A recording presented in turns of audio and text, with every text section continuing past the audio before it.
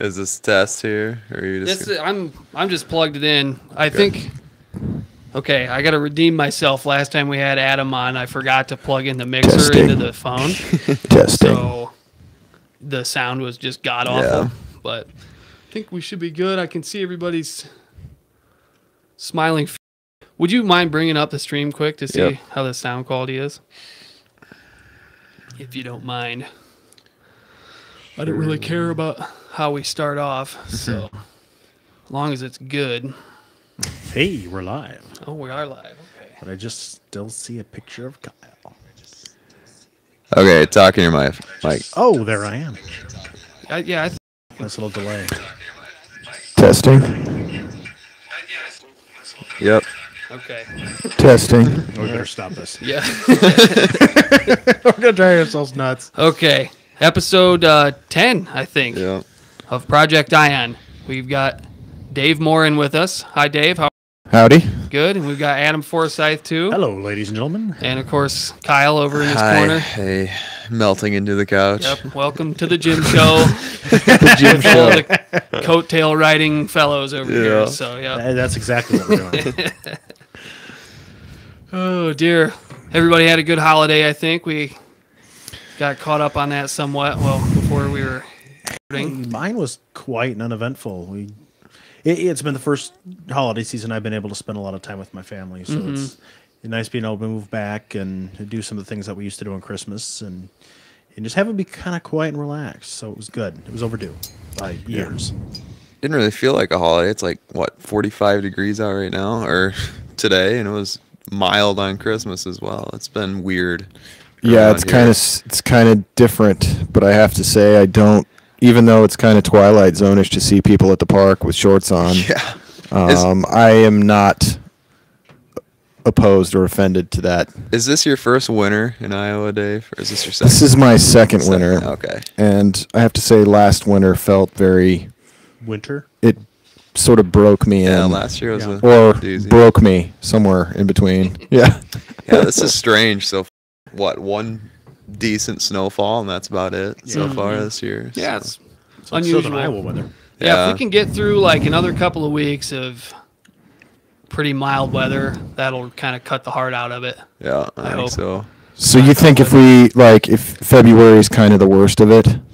Well, February, March, we've had some of the worst snowstorms in April. Um, Okay. So, I mean, realistically speaking, we still could get snow for five more months. Okay. Yeah. I mean, the chances of that, given you know the current condition of our climate, is pretty small. But Yeah. Well, I- I mean, I, I guess when I think about the nastiest parts of winter, for me, often it's in regard to the cold. And Yeah.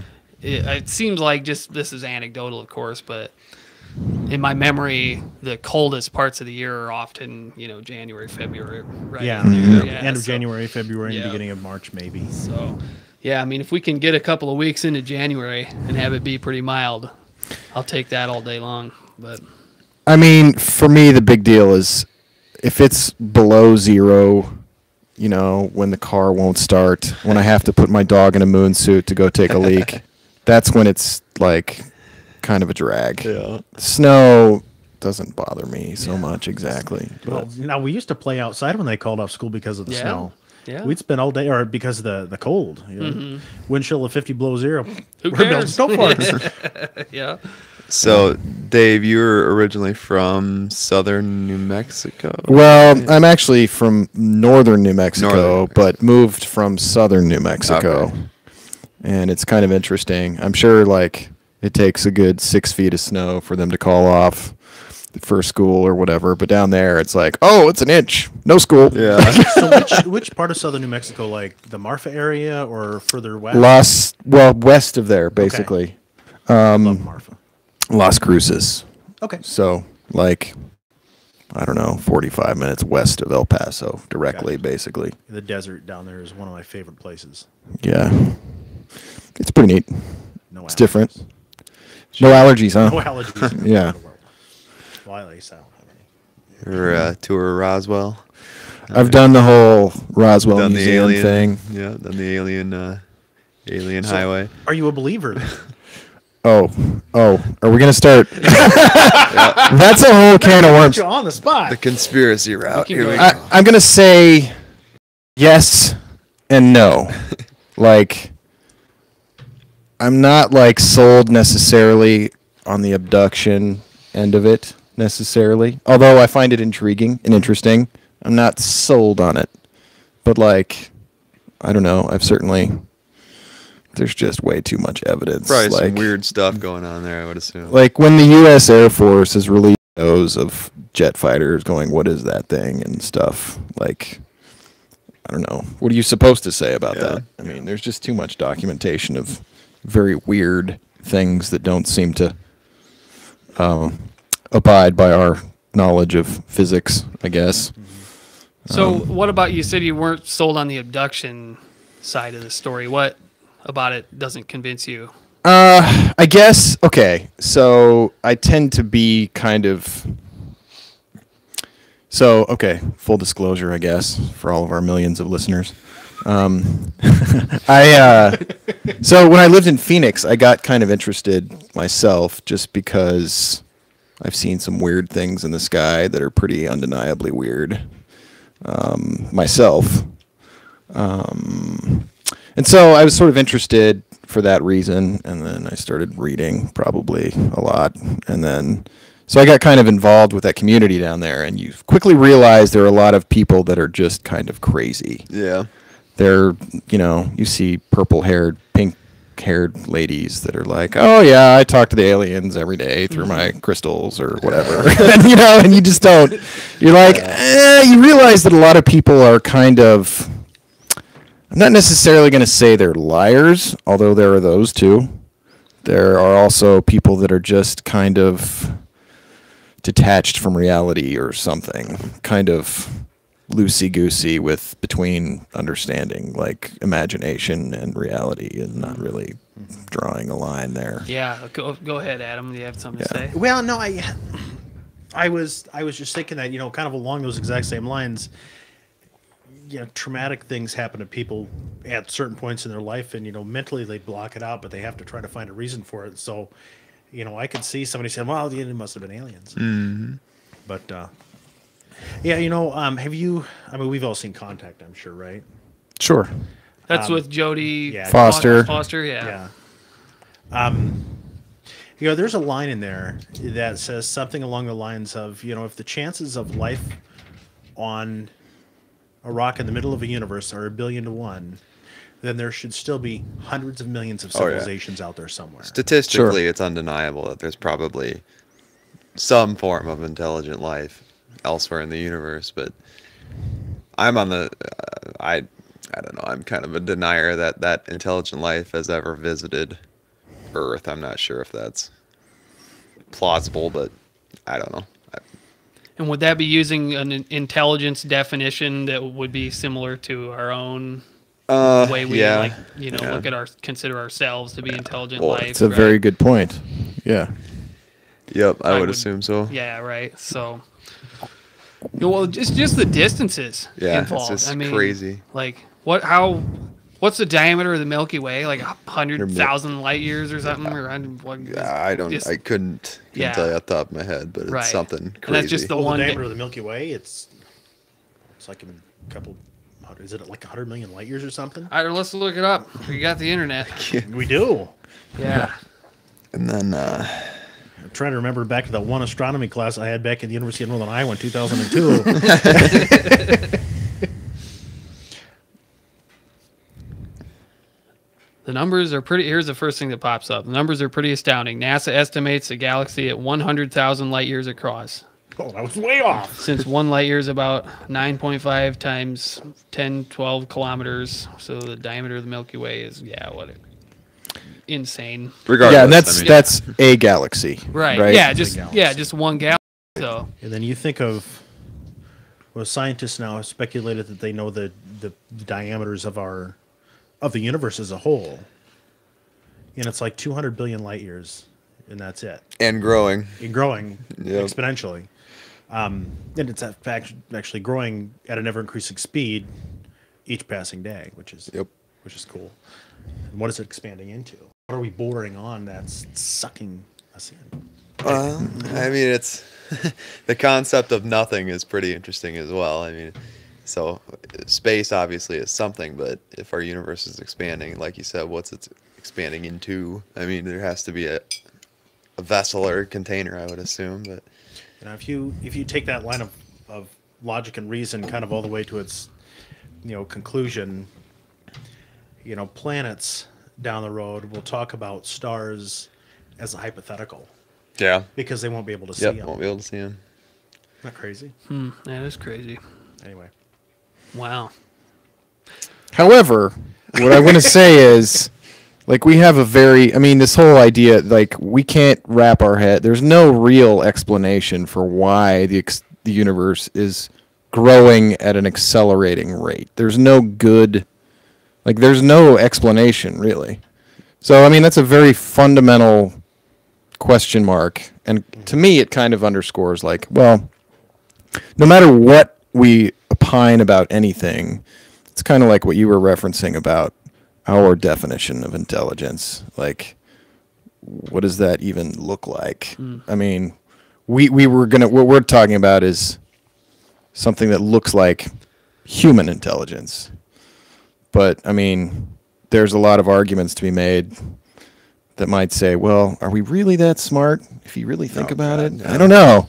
We've only had what oh, sixty thousand years, sixty to hundred thousand years to evolve. So I mean, Yeah, and it's to me, it's pretty clear there there are some weaknesses or glitches in our programming that are kind of glaring and problematic. But uh, I guess what I'm trying to say is we have these like fundamental problems of physics that are pretty huge and like basic, and so unanswerable. unanswerable or at least unanswered, Yeah. which leads me to think that there's a lot of unknown Isn't that unknowns. The way of a lot of discovery science, though, you know, every question that you answer creates ten more questions that you Yep. can answer or need to answer.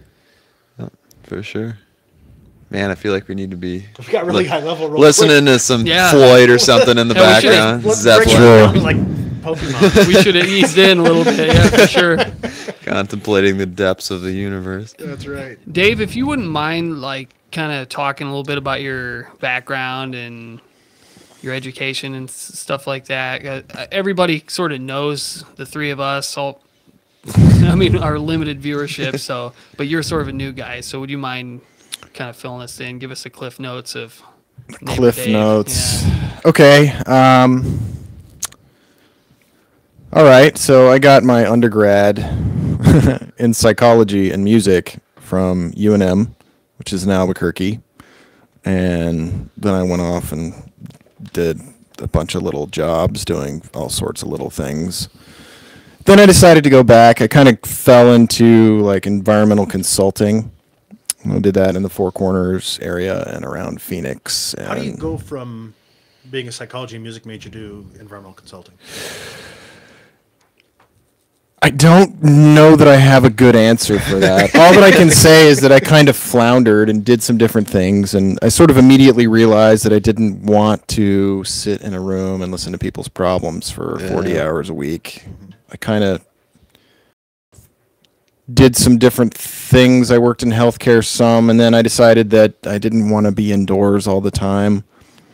And um, I sort of I, I took just a bunch of random classes here and there about all sorts of things and plants kind of I enjoyed being outside and I enjoyed science. I always sort of did. I always sort of saw my science direction one way or the other and so I thought being outdoors would be fun and then I got a job in the Four Corners area and just liked plants a lot. And I, and truth be told, I had kind of a mentor in that area from growing up from way back when, and I sort of went that direction. And then then I went back and got a master's degree at uh, NMSU doing in biology, doing this kind of microsatellite genetic work with a bunch of rare mustard in the mustard family in the whole west west um, from like Idaho west into Oregon and south into um, California, the Sierra Nevada. You are a So- mustard connoisseur, then. a little bit, or at least one tiny little section of the mustard family. I could tell you way more than you would ever want to hear. so I know that mustard, the mustard family of plants includes a lot more than the mustard as we think of it. I mean, what what other plants might we have heard of that are in the mustard family we may not realize? Okay, that's a good question. um, so there are a lot of them. There, so oh, let's see. So Not to put you on horseradish is in the mustard family. Radishes are in the mustard family. Whoa. Yeah, and Blew my mind, actually, Dave, radishes are in the mustard family, huh? yeah. Wow. And if you sit back and think, a lot of like horseradish kind of has that spicy, a little bit of spice to it. Yeah, Okay. a little and radishes have a similar so often you can just tell the family if i'm not advising this by any means but if you take a little bite of the leaf or something you can tell right away often okay. Um, so things like broccoli asparagus cabbage they're all different cultivars of the same species which is brassica oleracea which is kind of cool Yeah. mind blowing if you think about it so it's one species that has been sort of given the, the domesticated dog treatment Sure. sort of we've just sort of dom- bred all these to put it. different Oh, okay. different uh, varieties that would probably quickly disappear if they weren't you know Yeah. Controlled didn't how cultivate they them and continue to right propagate them. Okay. right they would just sort of become they would sort of dive back into a species mutt centralized Crossbreed like a horseradish and a radish. Um, maybe i can't say for certain i can say that plants in general have uh, a unique ability to crossbreed sometimes not even from like across species but across genera from genus to genus. It's a very so plants can breed their breeding is much more plastic. Okay, so And then- I mean, you because I know you can't, you know, breed like, you know, your neighbor and the dog. right. Um, but with a plant family, you you or the plants, you kind of can. S- sometimes you can yes. And uh, it's plants are pretty trippy in the way that they can reproduce. They have much more plasticity. There are some species of plants that don't reproduce sexually at all. They're just clones and that's the only way they reproduce. Mm-hmm. And it's yeah. So it's kind of neat actually. There's a thing called mother of millions which is a species of plant that it's kind of a you know people grow them for you know to put in their office window or whatever. And they're pretty they're pretty neat plants but they don't they don't reproduce they don't flower ever. They just um, make little babies on the edge of their leaves and they just fall off. It's interesting. Yeah You uh, know, and plants are fantastic. What a, the the largest organism in the world isn't that an aspen grove out west somewhere, or is it a? That is certainly one theory. There are some folks that think that actually fungi make bigger, but yes, in Okay. theory, that is my understanding that an aspen grove is the largest by mass single organism. Hmm. Yes. And interestingly, they haven't reproduced by seed since the last ice age for whatever Really? reason. Yeah, they just Well, because I know when Propagate you by- from- years later, you've got twenty. Right. They Um, yeah. They just propagate by you know roots. They one tree kind of makes Shoots out shoots out another you know sucker twenty feet away, and they just expand outward like So that. to trace back to the original aspen. Thank So Yeah. There's plants can't do one that. common aspen. yeah. So and something about I, I don't remember recall the details, but they have to be the seeds are extremely picky to get them to germinate. They have to be like a certain cold or wet or dry or something. In other words, they never germinate unless. Mm-hmm. The conditions have to be just ideal. Right. And those conditions haven't been met since for thousands of years, basically. Yeah. Well, you know, with evolution, they have to find another way to continue, you know, the population. So Yeah. That makes sense. That's really cool. And so some plants, given depending on uh, depending on how they, it could be like, you know, um, if they're under stress, they'll they'll just they'll reproduce, they'll self pollinate. Okay. So they're sort of uh, hermaphrodites, and then other times, if the conditions are right, they'll flower out and then they'll try to pollinate each other. So they can do a lot of different You're wacky fascinating. This is things. awesome. yeah. You're the I can tell you all about plants, man, and they're like so strange. Like some some species will have only male plants and then only female plants, you know, and then some species will have like the male and female flowers on the same plant, but they're separate. So corn would be an example of that. Mm-hmm. And then some plants have the male and female in the same flower, right? Yeah, because I, I know like some fruit tree. I'm sorry, I feel like I'm kind of dominating. No, No. go for it. Um, because I know some some fruit trees, you know, some can self pollinate, but others they have to have another another tree of a different type in order to be able to produce fruit. Yeah. That's cool. Yeah. And then some plants, this is, you know, I, I mean, this was certainly true in the group of plants I was studying. Some plants will produce seed, but not even pollinate it. They just produce viable seed kind of immaculately. kind of like a chicken produces an egg that's unfertilized. right. But then, you know, it, a chick would come out of that, All comes even down un- to the chicken. anyway. Yeah. kind of. Yeah. Immaculate seed production. Yeah. That's funny. yeah. Yeah. So, you go ahead, Jimmy. Yeah. Um, know where you're going. If uh, you don't mind, I want to steer us into the GMO thing. So Okay. last week we talked about and the the kind of the threshold question prompt we had was should producers be required to label genetically engineered foods? So the background there is, you know, currently GMO foods in the United States are not classified differently by the FDA mm-hmm. and do not require labeling. And there's no reports of ill effects from GMO foods that have been documented, but ag- advocacy groups like Greenpeace and the Organic Consumers Association argue that past studies cannot be trusted. They were sponsored by pro GMO companies and do not measure the long term effects on humans, the environment, and nature. Hmm. Opponents argue that labeling adds an unfounded stigma over organic foods and that if a nutritional or allergenic difference were found, current FDA regulations would already require a label. So, could you kind of walk us through the basics of some of that? I'm pretty perplexed by. And let's talk about the other argument. I mean, you know, people have been genetically modifying things for hundreds and hundreds and hundreds. That's of very true. You know, ever since that, I can't remember his name. You know, genetically modified that bean 100, 150 years ago, or maybe not that long ago. You know, we've been we've been altering things for a long time. Um, so yeah, I'm curious to see. Can we start maybe from the beginning? Can you let? I'm sure you probably can. Can you walk us through like and explain it like it's like we're five? How to genetically modify something? Like what what are the steps in that and- process? yeah, and then like what Oh. constitutes a GMO too? That I mean, that can be a little perplexing.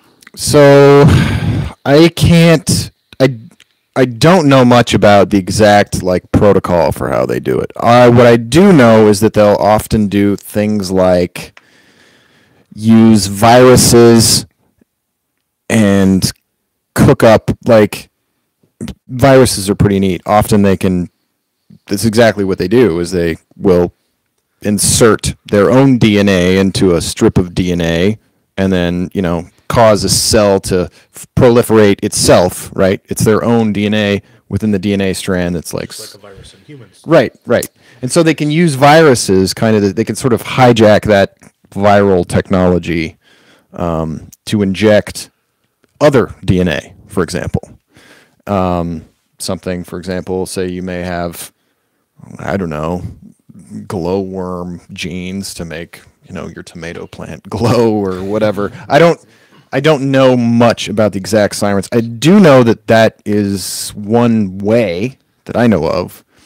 And now, you know, so that they have this viral technology where they kind of just hijack what the virus can do and they can it'll steal DNA from some other source. Could be anything. It could be um, some bacterium. Could be from a snail. Could be from, you know, any source really. And uh, they've been able to do some pretty cool things with that, or maybe from another plant, right? So, Okay. Actually, there's a couple comments in our stream. I think I don't know who this is, but Eureka Morrison thought the scientist might have been Mendel for the original bean. Oh, yeah, Um, that that does not from sixth grade biology. Yeah, Mrs. right. Doty. This so Mendel figured out he figured out that there are recessive and dominant traits, sure. Oh, basically. the Punnett squares. Right, exactly. Oh, the God. Punnett Punnett squares. They're not that bad, really, Yeah. but you might have thought grade so in the seventh grade. Yeah. Yeah. So he didn't genetically modify anything. He just figured out that, you know, if you mate either a heterozygous, you know, it's got the mix of the dominant pat, um, regressive, re- recessive traits that you may get a certain proportion that have both recessive traits and then you get like a wrinkled pea instead of a, you know, supple green pea or something like that. Yep. I there's a well, I'll save that for another conversation. That's more natural selection than it is uh, genetically altered organisms. But um, so GMOs, what uh, what's our consensus here? I'm I'm too ignorant to really formulate an opinion. I'm more political than anything on this GMO subject, so I it's hard for me to make a scientific argument for or against. I have I have very limited knowledge, but I have just enough to be just stupid about it.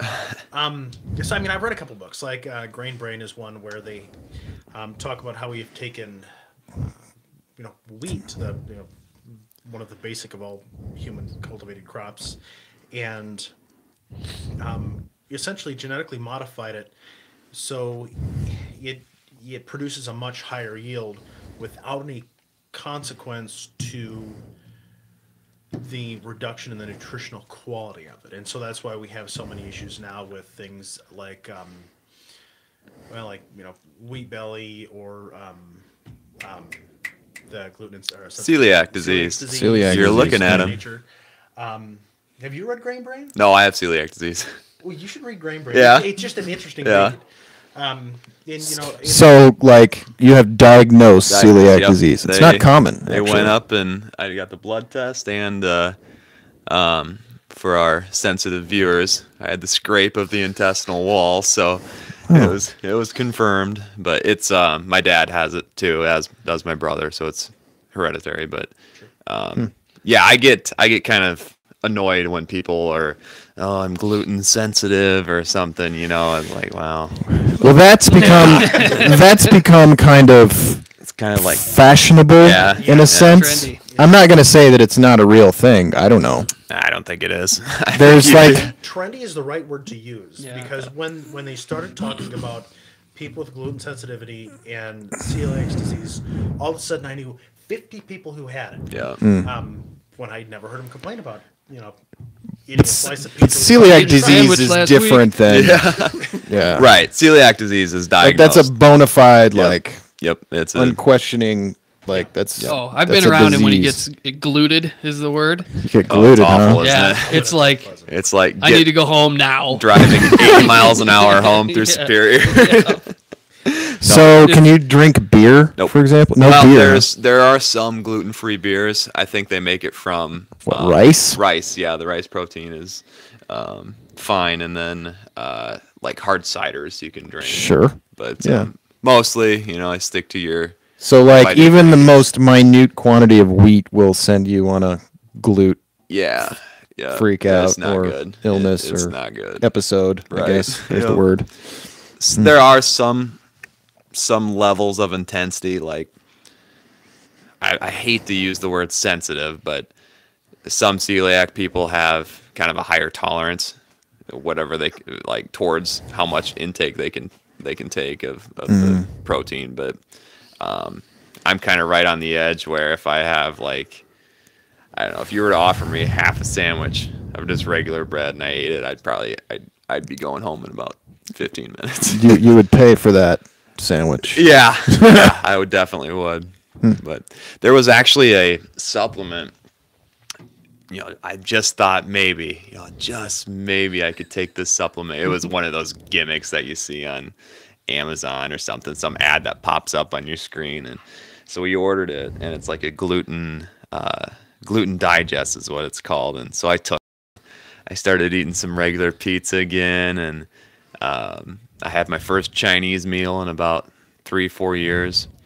And then just like that, bang, it's like game over. So, Was it the same day that you ate the Chinese Yeah. food? Yeah. you know, So what you're saying is it didn't work. No. and as as a science teacher, I should have known better that uh, those gimmick pills are just a rock. So Yeah, yeah. um, no, that was that was a poor choice. But I do I do sympathize for all my fellow celiacs out there, and not for those Hollywood gluten sensitive people. But Getting back to the GMO thing a little bit, um, just because I, I had a thought that I thought would be kind of fun to wrap up. So, you know, I, a big name when it comes to GMOs and crops is Monsanto and how they have genetically modified, you know, corn and beans, um, so they are not susceptible to. Is it the, the glyphosate Gl- salts? glyphosate. Glyphosate. Roundup, basically. Close, yeah, Roundup. Yeah. Um, and so, you know, maybe not the, the genetic modification itself, but the results of the genetic modification. I mean, do we, do you know if we end up ingesting it? Does does any of that chemical get into our food supply? Um, I can. s- I, have read up on some of this, but I'm not gonna like say okay. I'm not gonna pretend like I'm gonna Well, we expert on that. But what I'm gonna say is, yeah. I mean, of course, it winds up in your food supply. I mean, um, what I've read is it doesn't break down that quickly in the environment, and so that means that it just winds up in the wa- water supply. And now, is that dangerous? That's another question. Maybe. Um, I have to say that.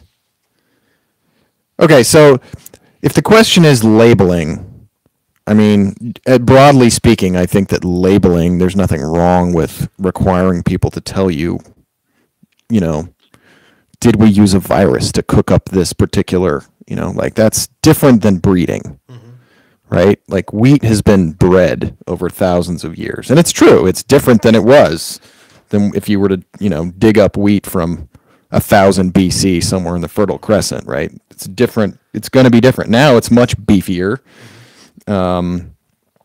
and it's going to have a certain yield, and uh, that's probably much higher than what they would have had back then. Um, it- you know, but to make something genetically modified to put up with a certain, you know, pesticide that's cooked up like on a commercial scale in a lab somewhere.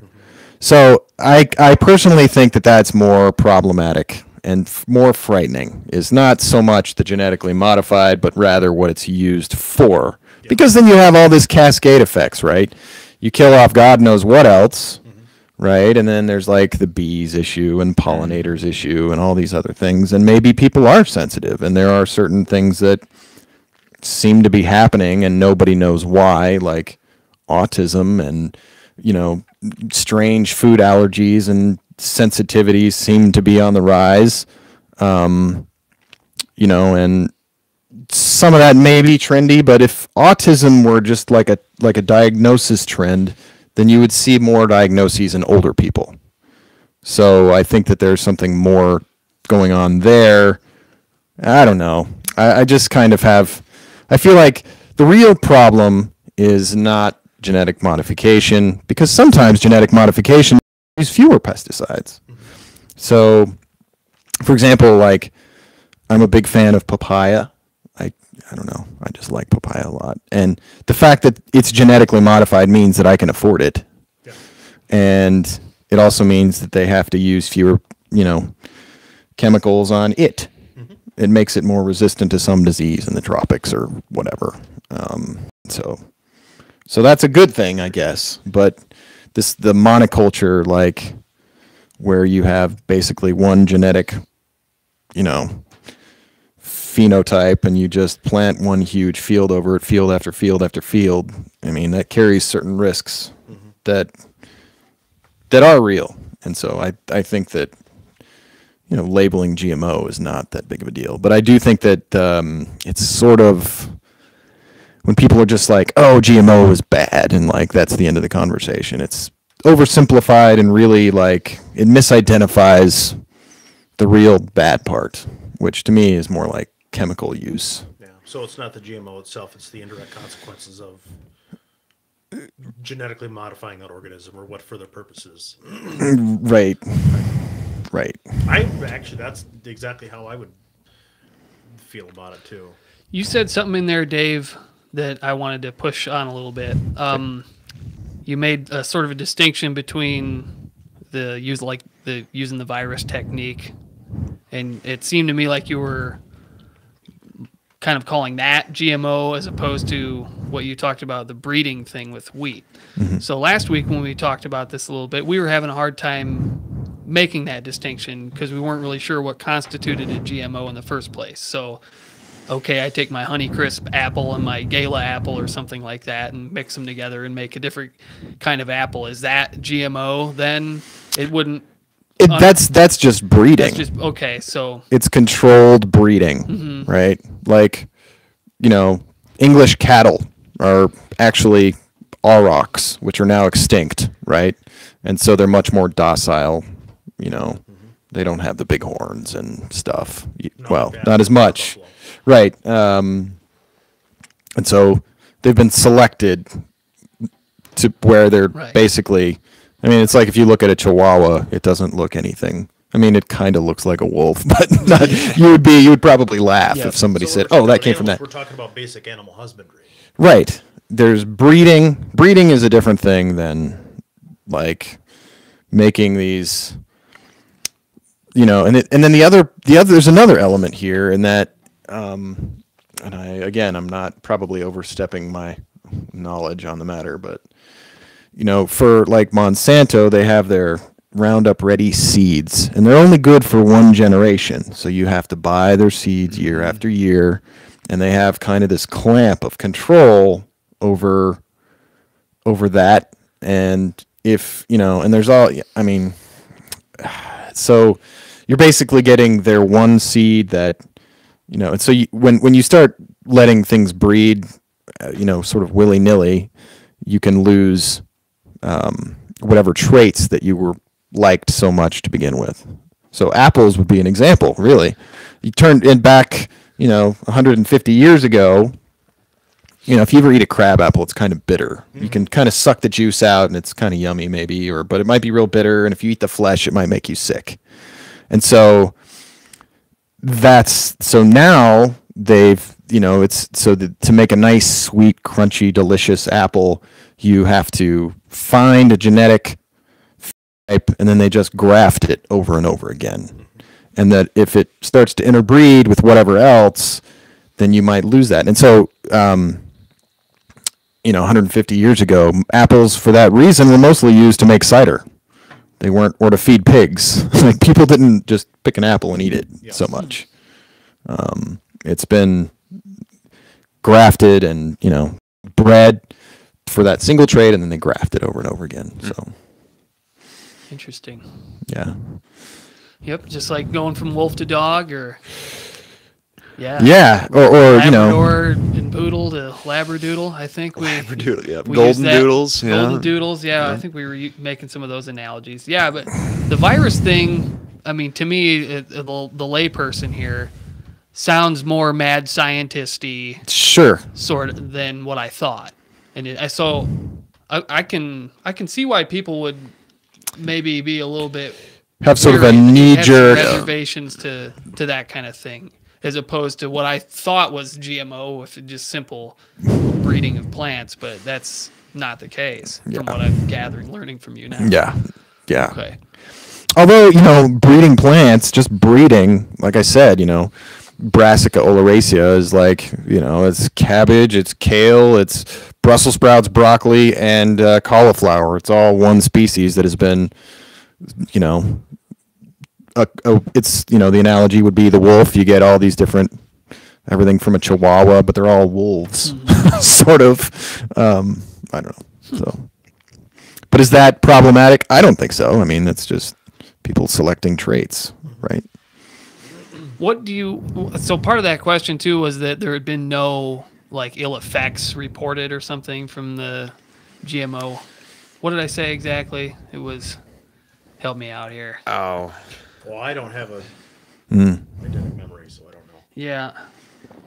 I thought. Yeah. well, I know what you're getting at. I mean, it's, Yeah, I thought I thought it was something along the lines of although there had been no like side effects or Right. something, but then, then the argument was, oh yeah, but the studies were funded by my yeah, the GMO. by the yeah. GMO companies, and that do you have a take on any of that at all, or Well, I certainly think that a study funded by some corporation is going to be suspect.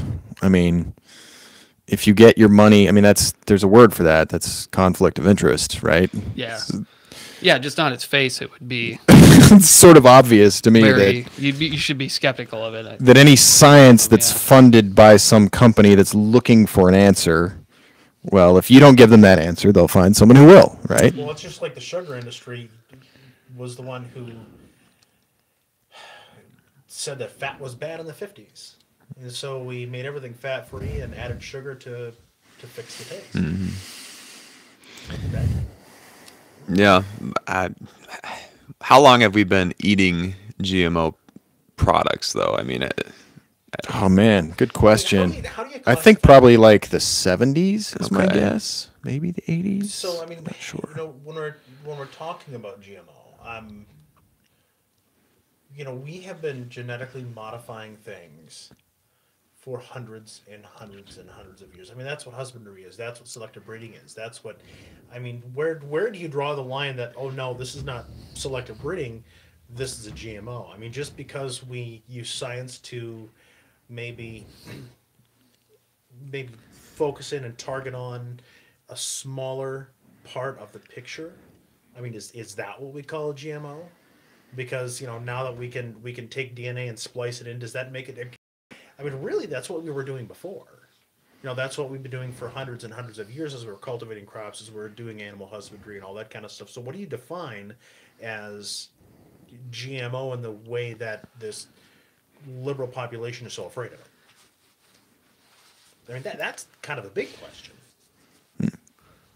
Yeah, I mean, I think time will tell too. I, it, I have I have a tough problem, or I have a tough, um, tough time grasping the idea that.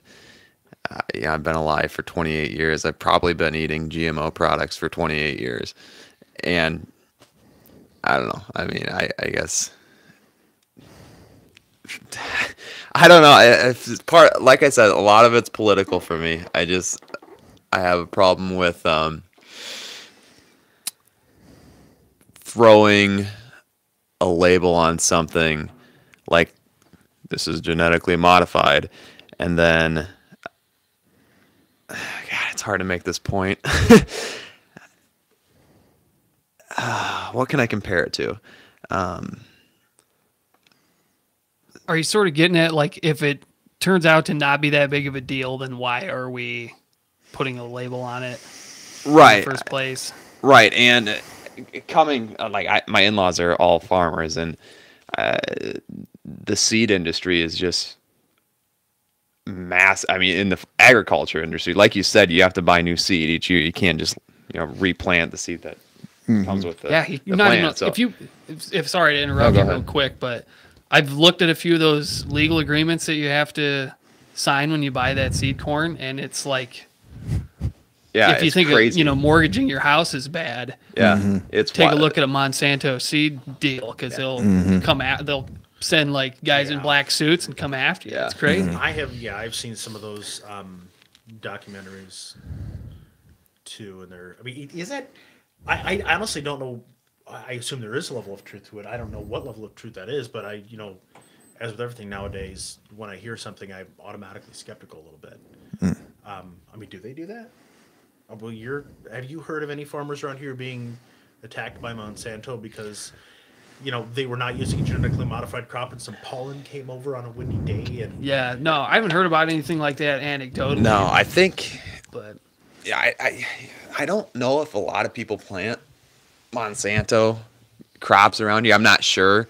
Um, there's a lot of other uh, regional dealers that are pretty big. I think that are are locally that farm Seed and- Pioneer and Beck and DeKalb. DeKalb, yeah.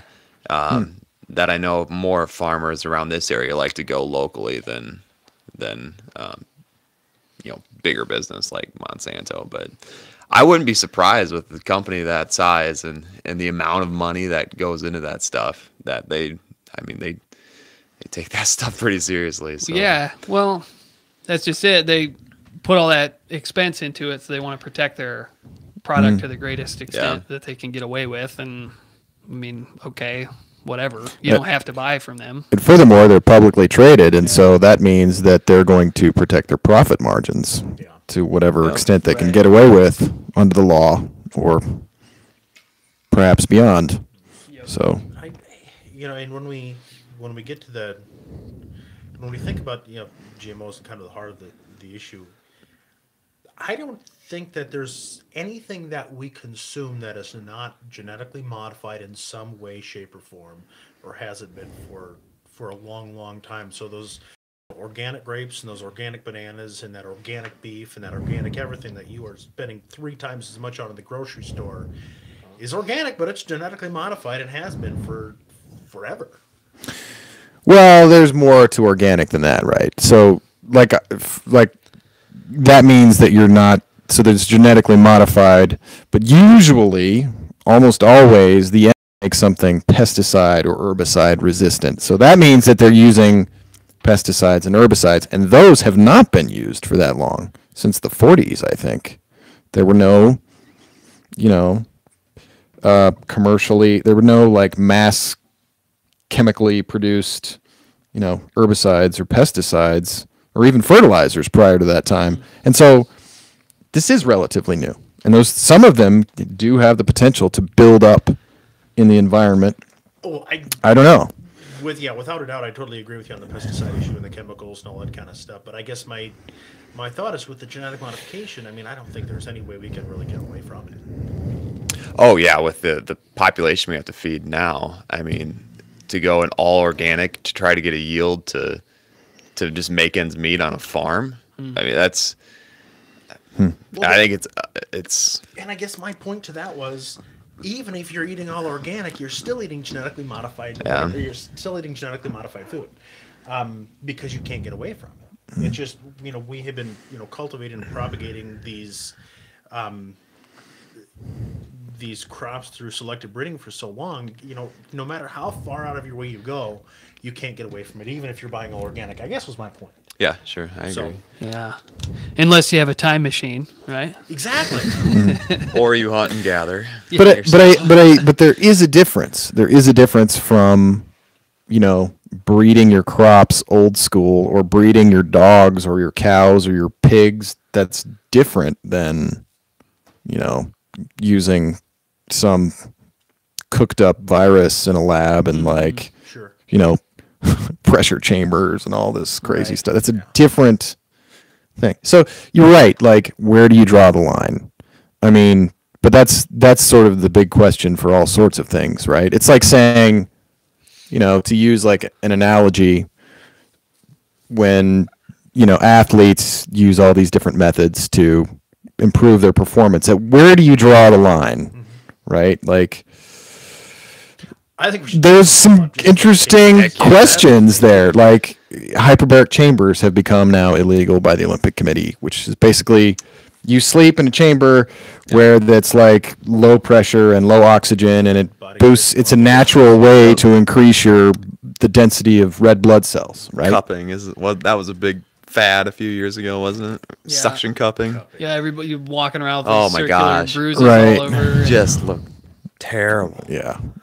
But, or what the other thing is, or you take some drug that does it, which is like flat out illegal. That's Yeah. performance enhancing.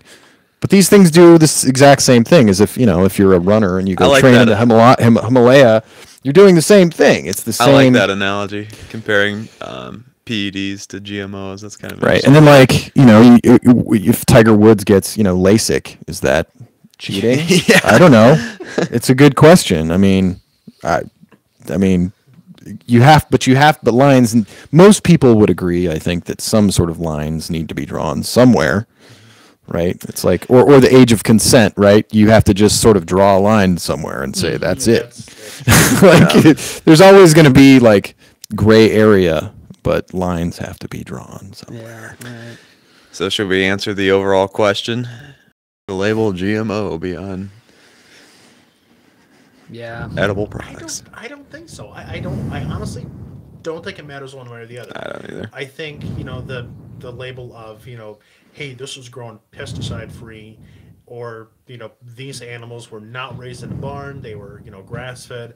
I think that has far more impact on our nutrition um, and overall the road than just you know GMO on the label. That's me.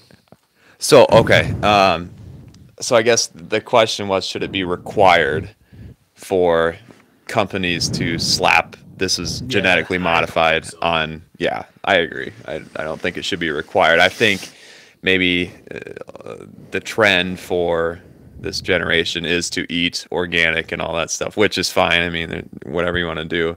So I think there's a benefit to labeling it non-GMO, you know, organically grown. So, but to require that is um, probably a step over, in my opinion. But so Dave, do you fall in a I yeah, I kind of have. I, I I feel like the jury's still out for me. Mostly, I think probably not necessary. Like the GMO, to me, it's kind of like what they, those guys were saying. Like to me, the GMO is not really the issue. It's pesticides and herbicides and you know yeah, I think cooked up fertilizers and stuff like that's far more and so they're, they're we already have that right the organic label or non-organic label and things mm-hmm. and Yep. but on the other hand what do you lose by requiring labels. I don't know. If you buy a bottled water they have to put the nutrition label on it. And is it silly and ridiculous? Or, or a pack of gum? Do i need to know that there's three calories in it? I, I don't know. Maybe. Is the stigma bad enough to for uh, you know for these labels and that? I, I I haven't run into anybody I guess in my own life that has been that big of a spaz on no, and maybe not stuff is GMO. I mean, and maybe Yeah. that's just where we, you know, our our confinement here in you know Northwest I mean? Iowa. Like, maybe That's- Burlington, Madison, Wisconsin. that that is entirely possible that this is you're right this we're is in not bubble here. So this is not like Santa Fe or you know Santa Cruz or whatever you know I have I've lived in enough interesting places where yeah, there were people who did make a big deal about GMO stuff and then, you know, they would buy their organic Honeycrisp apples or their, you know, whatever they're going to buy that's organic that is still, you know, modified in some way shape or form. I mean, yeah, I, people get crazy over it because, you know, somebody put in the news, "Hey, GMO's bad." Um kind of like oh, what was that? Jim Carrey's wife. You know the the negative impact that she had had on you know vaccination. I, I, uh, yeah, there are people that make make it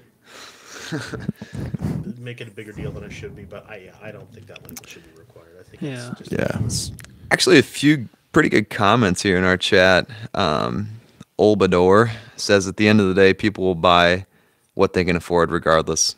Um, well, that is a fact, Jack. I yeah, I totally agree with that. I mean, oh, for sure. um, Some Right. people all they can afford is you know McDonald's dollar cheeseburgers, and that's yeah, Yeah. yeah, yeah, you buy organic when you can afford it if it's important. Right. But you know, for that matter, I'm the same way. I'll buy what I buy what I can afford. Yep. Yeah, that's what I was gonna say something about that. I think a minute ago. It's like, well, you know, when I'm buying food, typically the first thing I look at is price tag, Oh, and yeah. then I'll flip it to the nutrition facts and give a rundown and see, like, well, how many grams of sugar does this have? Do I really want? Mhm.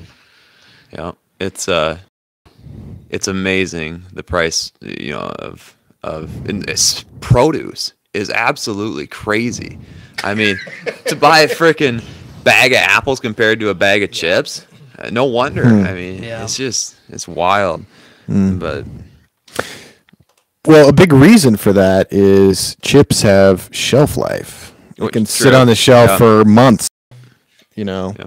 but a bag of apples is going to have a shelf life That's very and they're going to have a lot of loss given Yeah. the fact that boy i was watching and i'm it was a story about a Michelin star chef in Italy. Um, I can't think of his name. He said we throw something like a trillion apples away every year. And when we're throwing that much produce away, why have it be so expensive? It's cheaper for people to buy hamburger helper. Yeah. I mean, I mean, really, Yeah. you know, it, isn't it, aren't the grocery stores better off knocking the price down a little bit, having everybody buy produce, as opposed to keeping the price to a point where they're going to be throwing sixty percent of it away? Mm-hmm. It's just Yeah, it's, that would be a, a massive, massive undertaking to try and get our population to buy more produce. but the the ethics is there for sure. Hmm. Yeah. Well, there's a lot there to consider. I think. I mean, generally, I mean, grains are subsidized.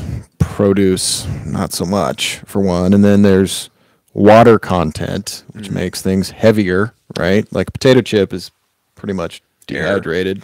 Yeah. right. It's air, and it's got a much longer shelf life.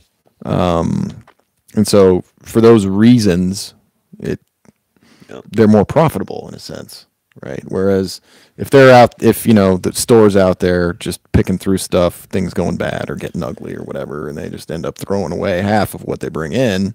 Sure. Dave, there's a question for you in chat that says, um, "What does it mean specifically when you say to cook up a virus?" Ah, that's a good question, and I don't have. There are a number of protocols, and I don't remember them Okay. off the top of my head. Google but um, there are ways to inject, and yeah, that I don't even Can remember I the name. a little bit and see if I'm close. Sure. Um, so you know, is it is it perhaps something along the lines of you know taking, you know, taking a virus, you know, like a, a plant virus, and extracting a portion of its DNA, um, and splicing that into something else, or Well, and then I, if I rem- if memory serves, again, is this it is like splicing different DNA. You can take. So so and then maybe and then another way I think that they can actually use bacteria as well. So bacteria are interesting in that they can pass DNA just like here have some DNA and the other one's like oh thanks here have some of my DNA and it's not like sexual or any way anything. They, so viral DNA is in these rings called plasmids or at least some of it and they can literally just hand them off to each other. And that's part of the reason why bacterial um, resistance and viral resistance is so much is so fast. Like they can become resistant to treatments and drugs very quickly, um, or even to things like temperature or various stresses. Um, and so you can these plasmids like they can hand off of DNA that way, and so you can kind of I'm not sure. You can kind of sneak attack the bits of DNA in these plasmids across, and then you know you can. I, I don't rem- remember. I don't uh, remember. And there's a lot of really cool stuff on the horizon. There's like CRISPR technology that everyone's both excited and terrified about. It's basically this protocol. I don't know that much about it other than to say that it's extremely you can use it to literally splice out Bits and gene, pieces ch- the bits and genome. pieces very specifically with a very high rate of success of DNA from here to there, from this to that, and that it you can use it across all forms of life, and that it's just Man. super. How how crazy would that be? I mean, if you can just pick and choose the traits you want. Well, and that's a whole nother Well, like. man.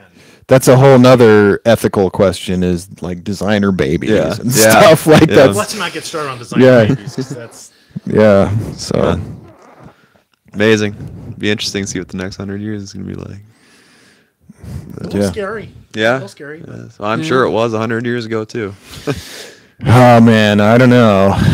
I mean, I feel like the 50s was scary because of nuclear holocaust was this very real sort of front door. And that's still there, but now we've got all these other crazy things to worry about like you know, how bad is climate change going to be? Is it going to be apocalyptic, or are we all just you know freaking out for no reason? Who knows? I don't know. Or is it a natural cycle of the Earth is going?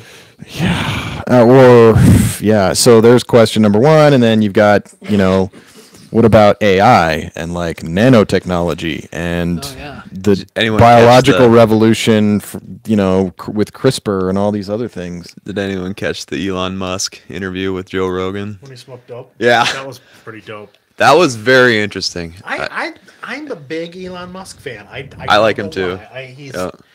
he's just a bizarre cat. He does his own thing, Yep. and you know he is. You know the technology, the, the battery technology that he has could be revolutionary. Mm-hmm. Yeah, I, I really like the uh, independence from NASA that he started with SpaceX. I think that just takes space exploration in a whole new frontier. That's just, uh, especially if it's not reliant on the government, which Yeah. nothing seems to work. That's huge. So let's talk about something. How long has SpaceX been around? oh God, uh, I'd say less than 10, 15 years tops. less than twenty Tops. years. How long has NASA been around? Uh, since the 40s, 30s, 40s. Probably 40s? since Sputnik, I think. Yeah. Yeah. That- so like 56. 50, yeah, something right like in that. Yeah. So, you know, they, and, and if you haven't seen these videos, they're absolutely freaking lootly incredible. You know, Elon Musk and his you know team of magicians have been able to fire a rocket from Earth out into space, turn the rocket around, shoot it back, spin around, and land on a moving platform Right. in the ocean. Yep. It's absolutely phenomenal. Right. And they can they can they can do it. it it's like a freaking ballet. You know, they can do two rockets at the same time, have them come back and land perfectly in sync. It's just incredible. The the level of the engineering involved is It's uh, crazy.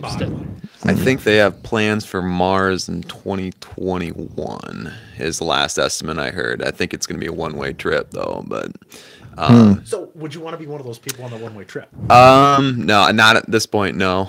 Yeah, you know, yeah, you- like you have baby coming. Hypothetically, Well, yes. We'll ask Yes. you again after the baby. Yeah. Yeah. Oh God, please.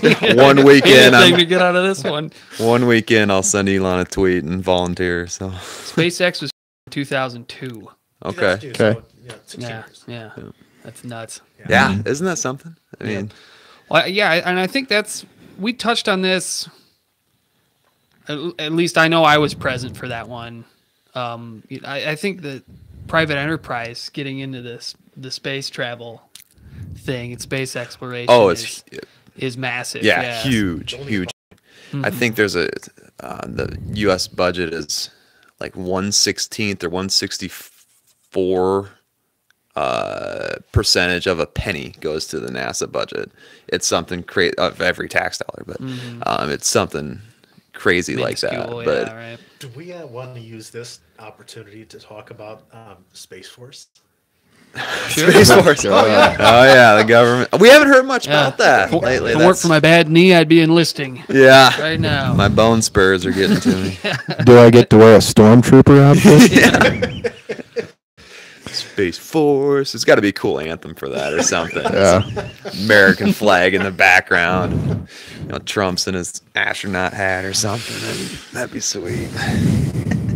Yeah. Well, I don't know. I mean, is it that dumb of an idea though? Like, if you think about the way uh, asserting your military might, like the next frontier. Right. I is- think I think the way it was presented was comical. Yeah. Um, especially with our current president right Yeah. now to Well, announce yeah. a space force. But I think the idea or the justification that uh, we should have a um, presence in um, you know space or or an orbit around Earth, I don't think that's too egregious. Um, do I do I feel like we need to dedicate trillions of dollars to it? Not yet. Well, let's think about this from another direction. Um, you know, we know that we know that Earth has problems. We know that we are, for lack of a better term, seriously fucking up our planet. Um, we are overpopulated. We are polluting pretty much everything that we touch and everything that we don't. Um, we know that Earth has a finite lifespan. We know that at some point our sun is going to become a red giant and swallow our planet. Um, if humans want to remain in existence, we'll have to figure out how to get off this rock sooner or later. Yep. I mean, you know, and, and I know it, it sounds silly. I know it sounds like we're talking about, you know, Star Trek or Star Wars or, you know, what's that new great um, Seth? Uh, Oh, Orville. Is yeah. that? Yeah. You know, you know, we, we have that stuff and we, we, we think of it in such a, you know, fantastical sci fi comical manner that when we start talking about it seriously, of course it's going to catch some flack. But I mean, are we to the point where, you know, it's going to take us gazillions of dollars and a lot of so much scientific time and energy that you know we can't even fathom to figure out the technology to get away from this place. Yeah. You know, when is it too early to start dabbling into our in, into our neighborhood? Yep. No, it's got to be funded first, for sure. Um, I mean, is you know, I know that we're looking at, you know, several hundred, several thousand years down the road that we need to be off our rock. Yep. Well, several thousand, tens, hundreds of thousands, millions maybe. Um, but you know, is it wrong to start exploring our neighborhood now? no, I'd I'd be all all for it. I think the um, the past is a good, or we, uh, you know, history repeats itself. The human species has a pretty big problem for planning for the future, in my opinion. I don't do uh, too good of a job of, um, I don't want to say this. Uh, oh, let's take climate change for example. You know, what are we doing? Uh, Nothing. yeah, I mean, what, Basically, nothing. there's that old adage: if you're not Well, Uh, I, I don't. I wouldn't say nothing. I mean, you know, we have up in our cars that turns our car off for a split second. At Yeah. The. I mean, we're doing something, right? That's impactful. That's impactful. Well, Let's okay, but but let's star. but let's but if you think about it, so there was a report, uh, some report that came out that said that our cli- our use of our our the worldwide production of climate emissions, climate change emissions, is steadily going up from one year to the next. So, in other words, we're not doing better; we're doing worse. Yeah. And it's, I mean, for, well, I mean, we have, you know, so the United States has sort of been like the golden star of like what to aspire to worldwide as far as development. Well, that means more cars. That means more electricity. That means fossil fuels, right? And as long as that's true, that means more and more people are going to be working in that direction mm-hmm. all over the world. And that's bad for climate change. I mean, that's that's kind of a bad omen. yeah. So when I say that, yeah, that's cool. More people are turning off the lights when they leave the, leave the room. That's cool, but that's like peanuts. It's like Drop in the bucket. it's like a drop in the yeah, It's exactly. like throwing a grain of sand on our southern border to start building a wall. yeah. Or, yeah, it just think- seems sort of yeah. I think it was about 10 years ago that scientists said, you know, two degrees Celsius. If you go up two degrees Celsius, that's kind of the tipping point where things are going to start hitting the fan. And now every every projection that I've seen that I've read is 2.1, 2.2 Yeah. degrees, and it's it's like it was predicted. Al So Gore's an inconvenient truth. yeah I mean, yeah, there's some really scary things that could happen. Mm-hmm. If Yep. you have like an ecological collapse in the oceans, well, that means the fisheries are gone, and a lot of people eat fish, and a lot of animals eat fish, I, and that's I- scary. Well, and let's talk about the you know coral's contribution to you know cleaning our air and Yeah. oxygen. Right. And then so there's yeah, there's Coral another bleaching. question. You have the coral reefs bleaching all over the world and I uh I don't know. we always I I teach eighth grade science right now, and we always have this huge climate change unit, and you know it's fascinating to watch the kids. Like I, I show them this little demonstration where, you know, if this coastlines would just um, decrease by like hundred feet. So you know, There goes Florida. yeah, I mean, just watch gone. how many people are displaced. And I ask them, you know, where where's the population live primarily? Uh, On the in- coasts. Yep, in in the United States and in other countries.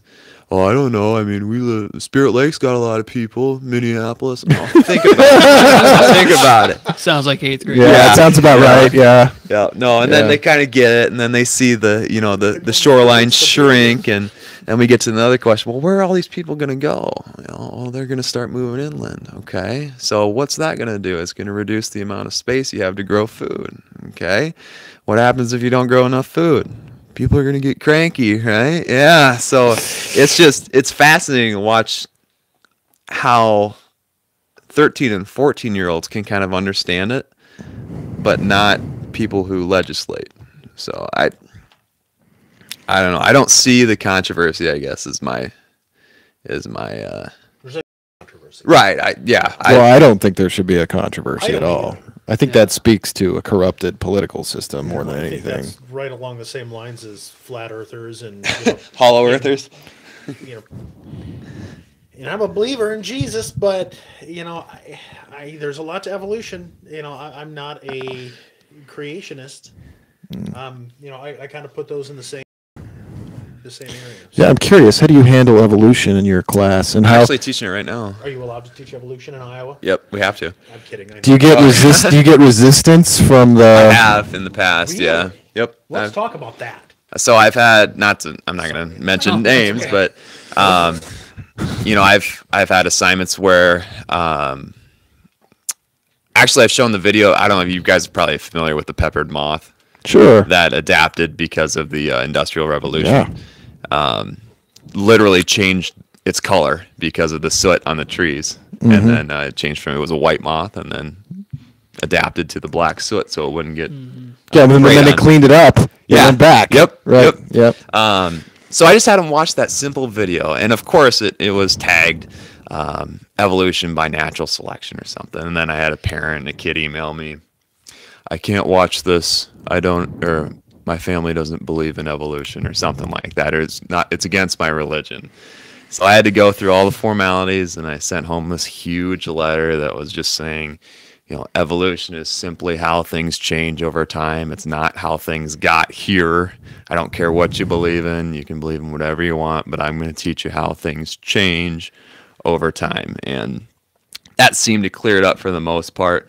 We just started it this year, so we're still, you know, I'm still going over like the geologic time scale with them. So we're not quite to. In and of itself, could be problematic for a lot of folks. Sure. Like Yeah. we're talking um, 4.6 billion years ago and not 5,000 years ago when the Earth was formed, right? So, um, but no, it's it's pretty smooth this year. We haven't gotten into uh, speciation yet, but um, we will, and I'm sure I'll have to answer those questions. I have to every year, but um, they're they're at an age where they're starting to kind of think outside the box a little bit, where they're seeing that um, um, you know a bat's wing is homologous to Your fingers. your fingers, right? Yeah. So they can start to see that stuff, and um, now I think they're kind of starting to challenge the idea that hey, it's not just right or it's not just wrong because so and so says it's wrong, right?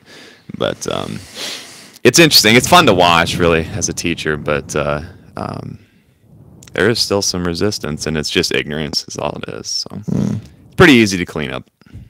But Sounds to me like you're just a hippie trash propagandist. Yeah. yeah. Leftists trying to spew my progressive views on the youth of our nation. Yeah, that's me. Oh man, Figured me out. I can't believe it's not settled. Like we're the only country in the world where it's not just like settled. Like I just. ugh. Well, So- we were talking about that. If I don't mind me cutting you off there, Kyle, a little bit. Um, last week, I think maybe like the the frontier with everybody's gripe about like the Common Core standards Oh, yeah. in, in education. It, like it's all in the sciences. Right. Pretty. yep, I mean, nobody's yep. bitching about Shakespeare. Yeah. Or English class. or You know Pythagorean I mean? theorem. Yeah, Yeah. right. So it it's yeah it's um, science. Uh,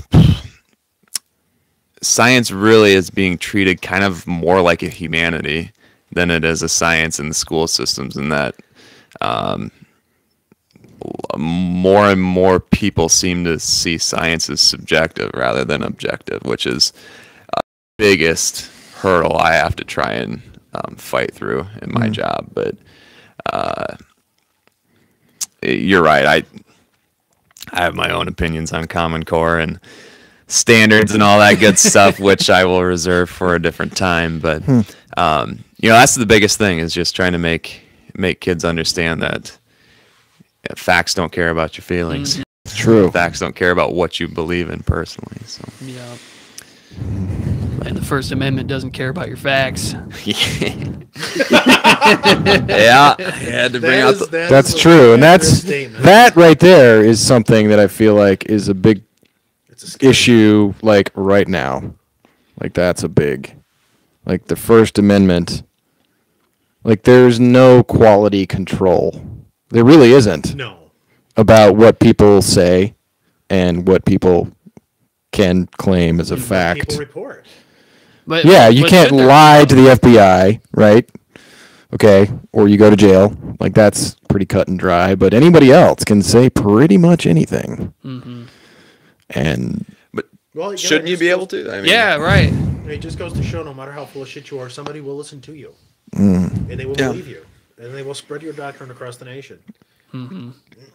That's what we're trying to do on this podcast. that's right. yeah, I like it. educate the people. yeah. That's right. if you play it backwards, it tells you to kill your parents. It doesn't. Just a little disclaimer. It doesn't. Yeah. All the same, Well, yeah, that- the, the First Amendment conversation is always an interesting one. It, it sounded to me, Dave, like I don't want to put words in your mouth or anything, but are, are you a person that would think that there should be maybe more restrictions on speech, or how do you feel about that? it's a good question. And uh, well, the first thing I want to say is there are restrictions on speech, right? There, if you're, you know, if you have, I mean, if you don't believe that, you could ask, you know, Chelsea Manning, right? Like, like there are restrictions on speech. You can't yell fire in, In a a theater. theater, yeah. You know, Mhm. there are some rules. Do I think Well, that there You should? can though. I mean, you can say that. you yeah, but it, it- I guess it would. to- but it exposes you Right to consequences. criminally Yeah. or whatever. Yeah, it's not sure. protected free Yeah, speech. yeah. You Right. can't say the B word on a plane, and there are all sorts of things that I could say about our president that could get me arrested tonight. Oh, So yeah, I mean, that's true. Adam's So- got the tapes. Fill us in. and Fill us so in. I mean, yeah, there there are without a doubt restrictions on our speech. Maybe the wrong kind of restrictions, maybe the right kind of restrictions. I think maybe there should be like there used to be this thing called the fairness doctrine back in the day that Reagan kind of quashed that said that there has to be some kind of standard of truth in news, right? And I think that is maybe not a bad idea. Oh, Like, sure. I mean, So let me let me just the media. read the quick definition of the fairness doctrine. is a formal um, federal policy in yeah, is a former federal policy in the U.S. requiring television and radio broadcasters to present contrasting viewpoints on controversial issues of public importance. Um, let's see. I wonder if it went away somewhere. So does that just sound like a rather than just opinion journalism, sort of that you have yeah. the counterpoint as well? I mean, is that how we wound Is- up with the six talking heads on the screen at one time? Everybody, yeah, I don't each know. other. Maybe. The FCC eliminated Maybe. the policy in 1987 and removed the rule that implemented the policy from the federal register in August of 2011. So yeah, it was uh, Reagan's last year in office that that was removed, Yeah. and then removed from the federal register under uh, Obama. Yeah, I mean, it's uh, that sounds really good that everybody should report the truth and facts, but uh, it doesn't necessarily make you money at the end of the day. Well, and there's another issue, right? That that information is doled out for profit instead of as a public service Or service. an But agenda. it's, it's an entertainment. Yeah. You know, the, Entertainment, Our news yeah. industry is an entertainment industry. It's not an informant. but it didn't always be. It wasn't always that way. No, it wasn't. And I think that Wrong. well, wrong. You're, you're right. You're right. But uh, you, you, there was a point where we could rely on. When I'm elected, you'd be in jail. You know, okay. oh my There was God. a point where we could rely on our news to give us the news, and, and it, it was relatively close to accurate. Yeah. Yeah. Um, you know, we you know had reporters that uncovered all sorts of legitimate scandals. You know, back in the you know '60s and '70s and the '80s, and you know now every time you turn around, a reporter's claiming that they've uncovered a scandal, I- or everything is a scandal. or everything is a scandal. Yeah, I, I find it hard to believe that something like Trump could have ever happened if there wasn't something like Fox News.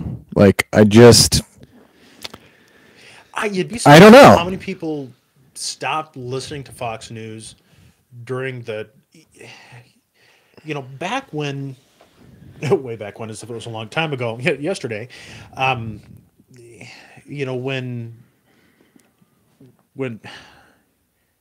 I mean, I guess I shouldn't say when politics started to get vicious because it's always been vicious. But when the news got involved, and the news started to, you know, really Pick sides. pick sides and you know and report the facts that they wanted to present to support their you know pre-existing ideas um, you know when that started to happen a lot of people who are you know are were mainstream conservative stopped listening to fox news because you know you have the bullshitters like you know sean hannity and you know all of his little minions on there um, it, it got so right-wing and so crazy i mean i used to listen to fox news it used to be a legitimate news source. Now it's just a right wing propaganda machine.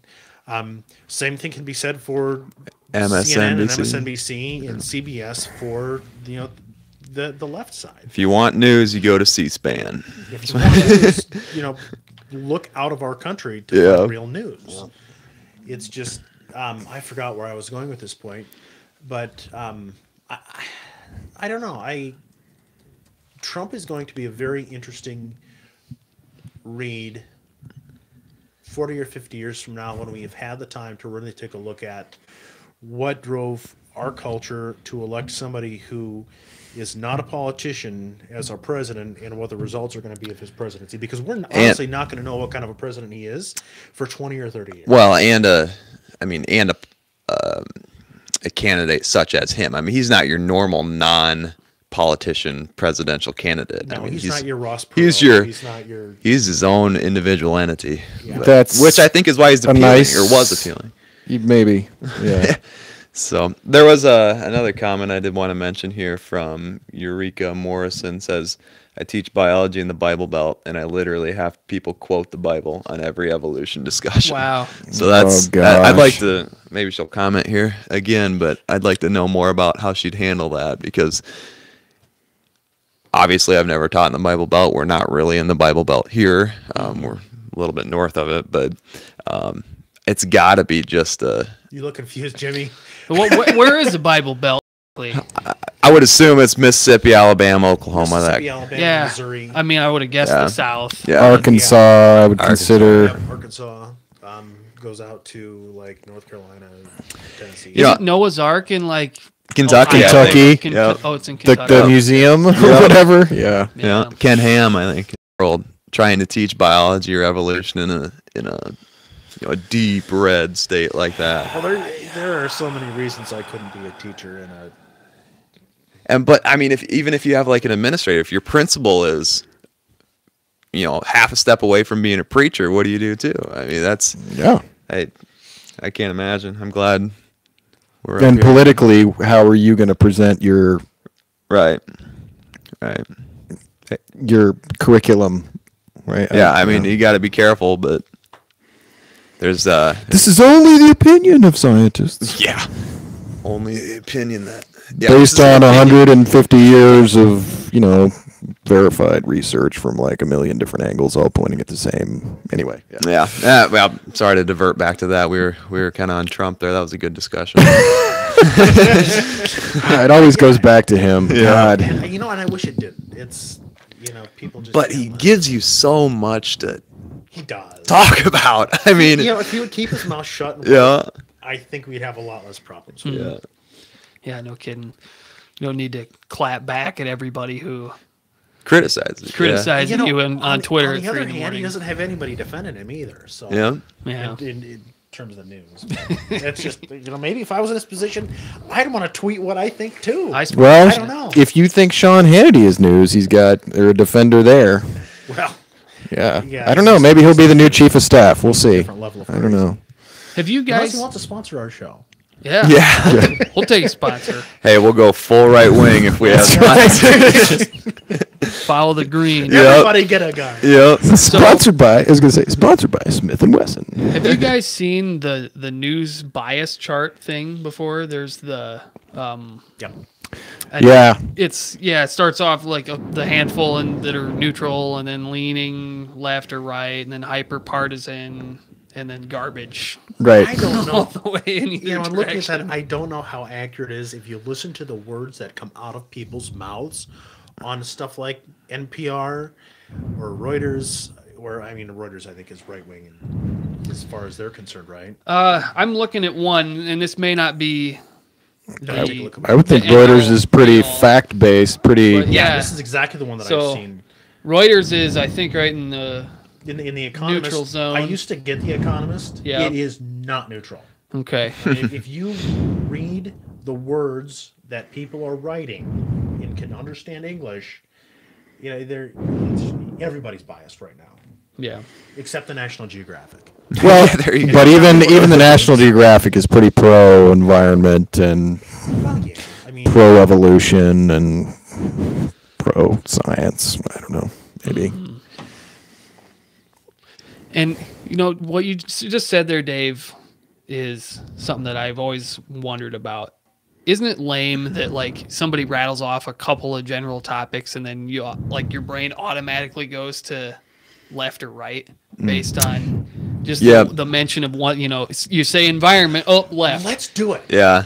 Let's Yeah. do it. Pull up a list of topics, spew them out, and we'll say what we think. Yeah, that's uh I mean and it's not really it's not really something you have to spew about or stew about either. It's just I mean, you could you could do it in a split second. You know, Yeah. Vaccines. you Right. know? Like, Well, that one isn't really like That- true, that's partisan. not- It's just I would say left. Dumb. dumb. Yeah. Is that? yeah. Yeah, it's, it's only an issue on the left. Yeah. Well, Mm, no, there's some writers. There's some people on the right yeah. there. What are the arguments on uh, the? We've talked about this with Spurge a little bit, That that vaccinating your children causes autism. right? Thank you, Jenny McCarthy. Yeah. yeah. Uh, God. Yeah, we're listening to a Playboy Playmate for sound parenting advice. Right. Yeah, no. that drives me nuts. I mean, cuz Or that there's they use some heavy metal in the production. Or forget I forget if it's lead or mercury or some nonsense. yeah. I wish Spurgeon was here because he He he uh yeah, he knows his stuff about vaccines. Yeah. He um he's very knowledgeable about vaccines, but uh he um he actually made a good point like you know, you're you're not only putting your own kid at risk if that kid gets measles or whatever and he's got to be around some kid who has leukemia or something that can't get a vaccine. And What do they call that? Herd herd immunity? herd immunity. Yeah. Yeah. So um, it's just irresponsible and infuriating, actually. in And it's true. I mean, here's here's the thing. Like, come on. It wasn't that long ago. Polio was a real thing for people to be very frightened of. well, Like, there are people that are alive who had polio as Yep. children. right? And they're like in wheelchairs or iron Crutches. lungs or whatever, right? And it's like that is a real thing that is gone Yep. now. You don't hear about a lot of smallpox, so at least you didn't until a lot of people stopped vaccinating their kids. Yeah, yeah. I mean, I've it, seen somebody with mumps or rubella. Mm-hmm. chicken pox. I chicken pox. yeah. I. I actually got I chicken do, pox. yep. Yeah. But, But, like nowadays, it's not even a thing. to go to your friend's house with chicken pox, Yep. just like on South Park. yes. Yeah.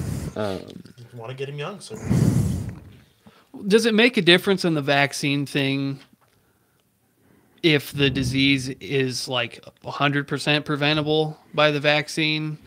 You know what I mean? Like, so, like, do you take the flu shot, for example, the, there's always a new flu coming out. Right. Um, Well, I, you know, the difference there, I think, is, you know, there aren't as many variations in something like I think you're right, Smallpox yeah. as there is in influenza. I mean, you know, there are, you know, I had said hundreds, and Andy said corrected me to thousands of strains of of influenza. And you know what they do is they try to forecast what are going to be the most dangerous strains in a given year, mm-hmm. and that's what they protect against because Yeah. they can't possibly immunize them against all of them. Right. Mm-hmm. I mean, it's like the common cold. You know, how many different you know viruses and stuff can cause the common cold? It's But we hold different standards for flu. Unless you're like in healthcare, you don't have to have a flu shot. You know. Whereas if you want to go to public school, there's a list that you have to have for As vaccines. you should. As you should, right? That that makes sense. If you don't want you don't want a vaccine, keep your kid out of you know Keep your kid away school from that's funded everybody out else, of the public yeah. coffers. yeah, take it Right. to the middle of the woods.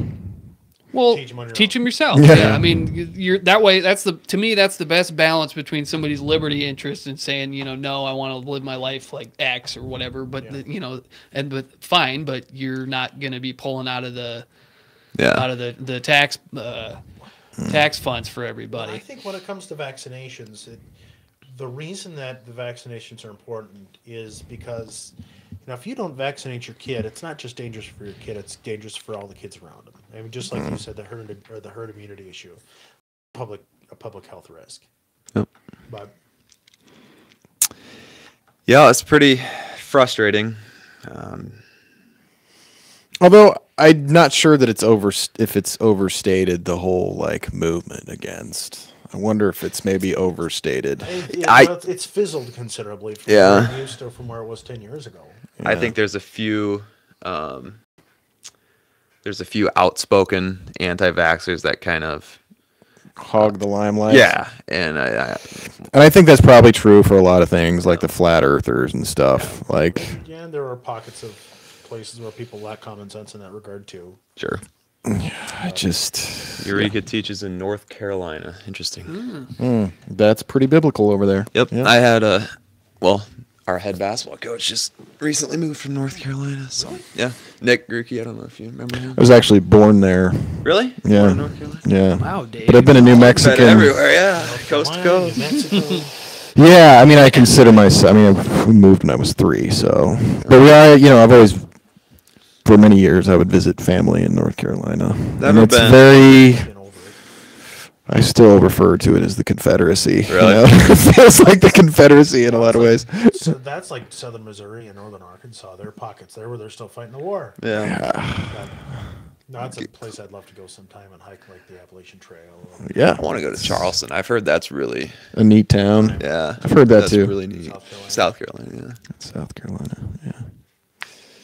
Was that where they had the rally thing and the girl got run over? That was Charlotte. Charlotte. Charlottesville, Or Virginia. Charlottesville, That was Virginia? Charlottesville? Okay. Right. Oh, what state that's in? My cousin though went there, and it's not. I mean, yeah, I don't know. It's a strange thing. It's weird. Like you can definitely feel this racial tension there that you never could feel in New Mexico. Huh. Like, and I'm not saying that New Mexico is some like Shangri La, like where everyone holds hands and gets think along, racial but tension has gotten worse in the last five, ten years. I don't know. I mean, I feel like certainly the f- the the the flames have been fanned, so to speak. Do I think it's gotten worse? I don't know. Maybe that's the subject. I can tell you, like, so there was one time I, I drove across Greensboro, and it's very much, it's still very like segregated. Yeah. And I went from one side of town to the other, and I remember just going into a gas station and being lost, and like, hey, how do I get there? And you know, I was definitely on the other side of town, and he was like, the guy was like looking at me like, what are you even doing in here? Like, uh-huh. and I just was not used to that. Yeah. I felt very like, I don't know. Yeah. And my uncle is just totally just cartoon racist. So I mean, there's still plenty of that going around. Oh so. yeah, I think You know, I there's plenty of it around I for you know, sure. grew up in Estherville, was here most of my life, left in when I was 19 or 20. And race was never an issue growing up. I don't No. remember ever being an issue. a couple months ago, I was back here uh, visiting my folks, and my dad and I went down to Hy-Vee. In this, as we were walking in, these guys were arguing. Um, and these two, two scraggly old white guys were hollering at this Hispanic kid and telling him to go back to his own country. Really? And he turned to them and said, I'm from Texas. I was born in Texas. I moved from Texas to here. I'm an American, you asshole. and, you know, it's, I had never seen behavior like that in our Yeah. town. I had never seen stuff like that in Estherville. Um, and I, it, yeah, bothered, bothered me quite a bit and kind of made me start to wonder, you know, is are things going backwards a little bit in that in that I, I might have missed that. How long ago was that? A couple months? Really? Yeah. Yeah, Huh. yeah. I feel like the pendulum swings, and it always sort of does. yeah. And it go, it's going to go one direction and back the other, and so on and so forth. I feel like certainly has brought back this sort of uh, I don't know what do you, what do you want to call it enabled or brought back a narrative that used to be sort of underground a little bit, or at least people were quieter about it. Maybe. And now, I mean, now you got Tucker Carlson saying that immigrants make the world dirtier and stuff. like, just got ten feet higher. yeah. I just like, Uh, I, yeah, I, I mean, and and. Well, there was sort of a blend with immigrant and race in what you just said there, and I'm flesh that out for me a little bit more. Um, Right.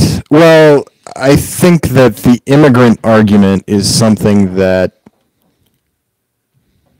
it's an easy it's scapegoat always, but it's always been there. Like all of us, you know, our ancestors are not North American, right? That's a simple fact.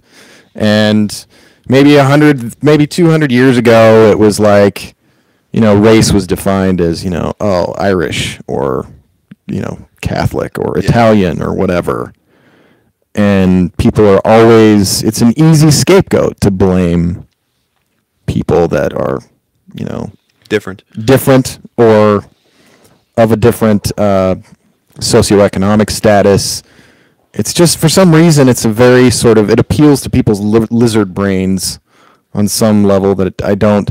So, and I think that racism is directly related to that. I mean, it's like when when when Trump says, "Oh, you know, how come you know like more Danish people aren't coming?" I mean, yeah, it's it's related, but it's like, okay, so I don't know. I, I think the issue of race and the issue of immigration, while a lot of people are blending the two, I think they should be completely in. I, I, I- I think they should be separated. Um, you know, I think you know there are a lot of racists who don't like people who are are not you know white Americans just because they're not white Americans.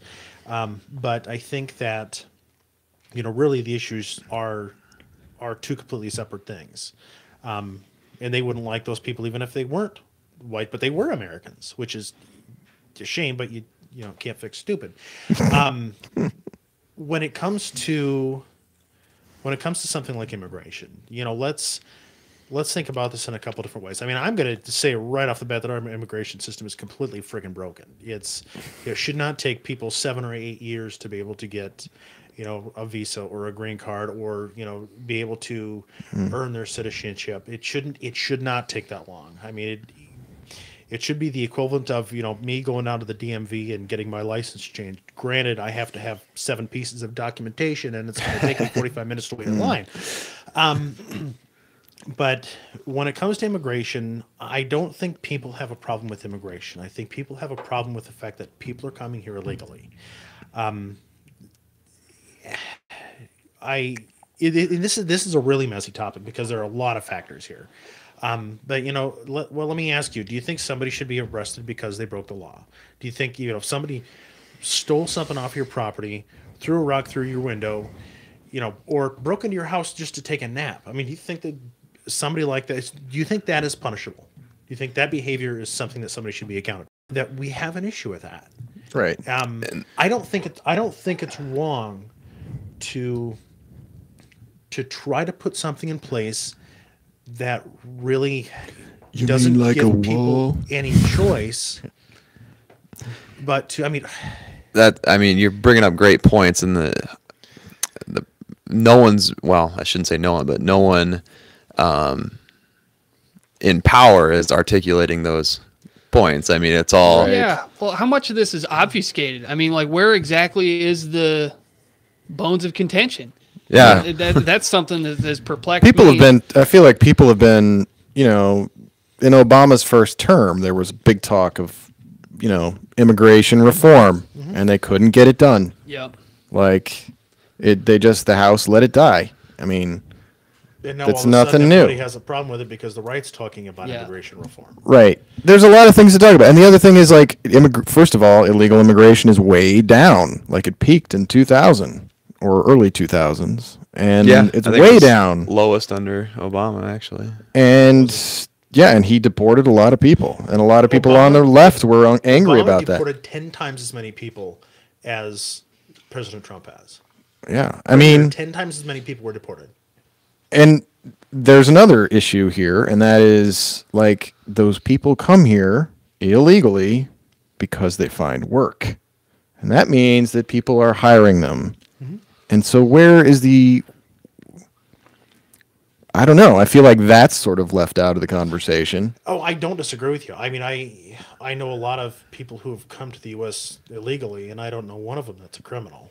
I don't buy into that. You know, everybody who comes here is you know a rapist and a murderer. Yeah. Well, that just sounds like a straw man. I mean, Yeah. yeah, I, I. I it is. Yeah. Um, but I still think that you know we. It it really it all comes down to immigration reform. If we had a great immigration system, we wouldn't need a freaking wall. If we had a great immigration system where you know somebody could come in and check in and say, you know, hey, you know what, I want to move to the U.S. All right, let's take care of some paperwork. You know, do you have a place to stay? You know, do you have some money to get you by until you find work? Let's make sure you have the stuff in place. Okay, an hour later, have a great day, have a good time in the U.S., and you know, let's let's see what we can do to, to help. Hmm. I mean, if we had a system that encouraged um, that kind of immigration as opposed to as opposed to the just massive cluster we have now, know, maybe we wouldn't have an immigration problem. and why is it so bad? It was overregulated. that so yeah i mean we've had these in our country's history we've had these periods of time where there's been big influxes of immigration from first from europe i guess Yeah. right and, and then yeah so, and then different different localities in in europe in different waves and um yeah i mean like so h- how is it people from central america trying to go north is different than the Irish coming from the potato famine or Yeah. something. Right. Yeah. Well, the the difference between that is one we weren't we weren't a yeah. people think you can, but you can't. They will not let you just move to Canada unless Yeah. you can contribute something to the Canadian. Right.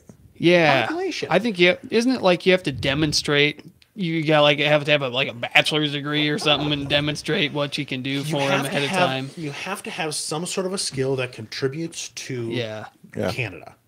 You and you know I've, I've heard so many people say, "Well, I'm just going to move to Canada because you know our, you can't just do that. You, mm-hmm. can, you, you can't do that with any other civilized country. Why should we expected to to be the complete opposite? Why mm-hmm. should we ex- be expected to just open our doors to whoever comes, regardless of what the reason is, Right. regardless of their situation, you know, regardless of all those extenuating circumstances? Because there's not another country on the planet that's a civilized country that does that. Mm.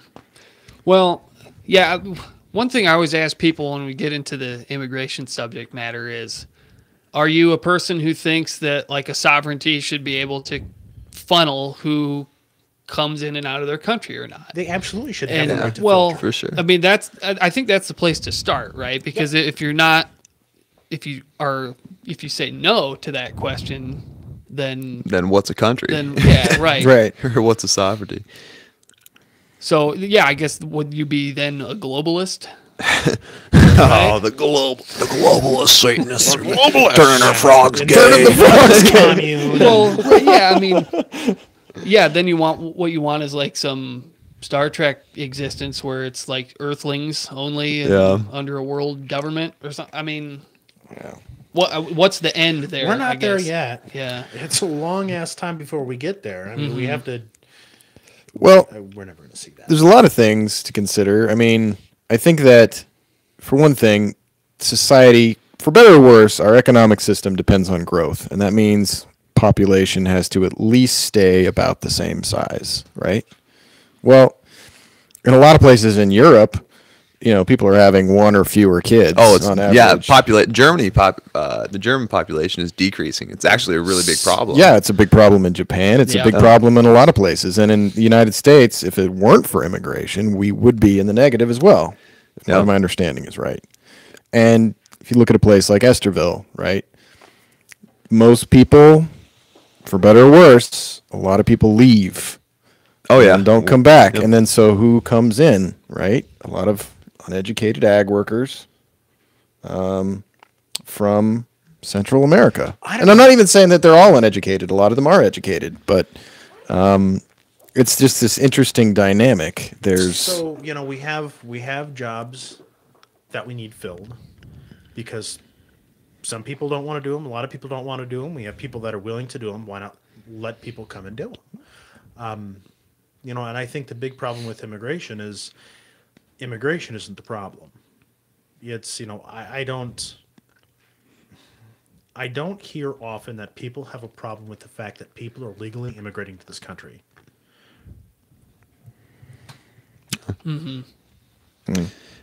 Let me uh, run through some comments Oh, real yeah. quick. Um, Eureka says, if you have an infant, you should have flu shot. I don't think anybody disagrees with that. Uh, Olbado- no, that's just fine. Yeah. Sure. Yeah. I don't care. I- We're I here to feel talk, Like, that's- that Yeah. asshole who you know took all the mic time. No, we're here to talk. Um, cultures are important. Differences in cultures are important. Cultures being lost because they blend together too much, I think is is tragic. Um, you know, when you go to to places like New York and Chicago and San Francisco, and you see the Chinatown, and you see the little Italy, and you see the little Germany, in you know, a little Bavaria and Frenchtown, you know, there's so much beauty in every individual culture. Um, you know, we don't want to get to the point where we lose those. Um, did America ever really have its own independent culture? I don't know. I th- You know, I think we kind of do. I think we get caught up in this word assimilation, um, maybe taking that to the extreme too much because we say we want all these immigrants to assimilate, um, and I think maybe we're implying that they should lose their culture, which is not, in my opinion, what assimilate means at all. No. So I, I- I don't know. I the fear of losing cultural ideas or ideals. For one thing, there are the laws that we all know and abide by, or not, or we risk, you know, mm-hmm. the consequences of that. And that's that's no different whether you know whether you're here, you know, whether you're an immigrant, a first gen- immig- generation immigrant from anywhere else in the world, you're still going to be subject to those mm-hmm. same. I well, so in other words, I guess there is at least there is the law, right? Yeah, right. Setting the floor for Right. this is the mandated assimilation. Right. Yeah. And I think it's also true that in most places there are like basic moral cultural codes that don't change all that much. There are some that do, sure, from culture to culture, but like don't kill your neighbor. Well- That's pretty obvious, right? Like What do you guys think of this? Like, what about culture being as a means to say, like, identify yourself with a group that's larger than yourself? Wouldn't culture, in a lot of ways, make a lot more sense than grouping up by skin color, for example? So, like, let's say I'm in Germany or something, and culture in Germany could be quite a bit different than what I'm used to here in Estherville, Iowa. But my next door neighbor is an Asian guy from Minnesota. Sure. I'm going to have a lot more in common with Yeah. Yeah. Asian guy from Minnesota than I will with the Germans, Yeah. sure. just because we both grew up in the United States. So yeah. Absolutely. Mm-hmm. Yeah. and you know and there is a big difference in regards to you know preserving a culture as opposed to preserving i don't think it's quite accurate but i'm going to say way of life um, you know and, that kind of goes to you know you're talking about well you know we have our laws as a baseline that we need to follow um, we have our laws you know because we want to prevent people from hurting other people and that's it. I mean, really, every single one of our laws is designed to prevent people from hurting other people. no, not every single one. There are a lot of just stupid laws. No, I get what you're saying. That you can attest to, but you know, you can. And there are cultures out there where you know hurting others is a part of their culture. Yeah. Um, you look at the the guy who you know tried to spread the word of Jesus in you know Oh, Indonesia and got yeah. shot. Yeah, Yeah. they- that's their culture. Well, Probably you a know, while stupid we don't idea. Accept that. Yeah. You know, there are a lot of parts of your culture that you know you are welcome to. You know, please, you know, please bring over here, please. Mm-hmm. Right. Not you know saying inviting them or anything. You know, they're happy where they are. Good for them. But I think I'm sorry. No, yeah. Well, I you know I, to kind of dovetail on some of that, like I think it's a reasonable discussion to have to in with certain examples, like take Europe. They've got waves of uh, Muslim immigration from the Middle East in different countries where they've got Muslim ghettos in certain places, and they're it's I think a reasonable discussion to say we've got butting heads in some ways where culture from Islam doesn't the Eastern culture there doesn't necessarily blend with Western uh Right. Parts of it, yeah. yeah so I mean like death to apostates and that kind of thing like it- it's you know, too there- extreme There are a lot of parts of their culture that, that do. right Um, but how do we how do we make that work Well, it goes Yeah. to following the law. Hey, you do Yep. whatever you want to within the confines of the laws of the country that you went to. Mm-hmm. right yeah I don't. Yeah, I don't understand why that's so hard, but I'm not a religious fanatic, so I. Yeah. There's a lot of, I mean, there are things to consider there. So, for one thing, we talk about assimilation. So, in this country, Muslim immigrants assimilate, quote unquote, better. And one of the reasons for that is we have, I mean, for them to get here is a bigger, like, you're probably in a different socioeconomic status because you have to get on a plane or get on a boat or whatever, right? And then, in other words, it's not just like waves of, you know, peasants or whatever, right? Like, Yep. whereas Europe, they're going to have that issue, and they've also been much more open arms to, you know, uh, asylum seekers and such, for better or worse. And Right. you're going to have backlash to that. And it's also true that, um, you know, they they have had bigger problems with quote unquote assimilation and like racial and cultural like tensions. I mean, yeah. Um, we have that here, uh, but maybe for other reasons, and I don't know. I, I don't know.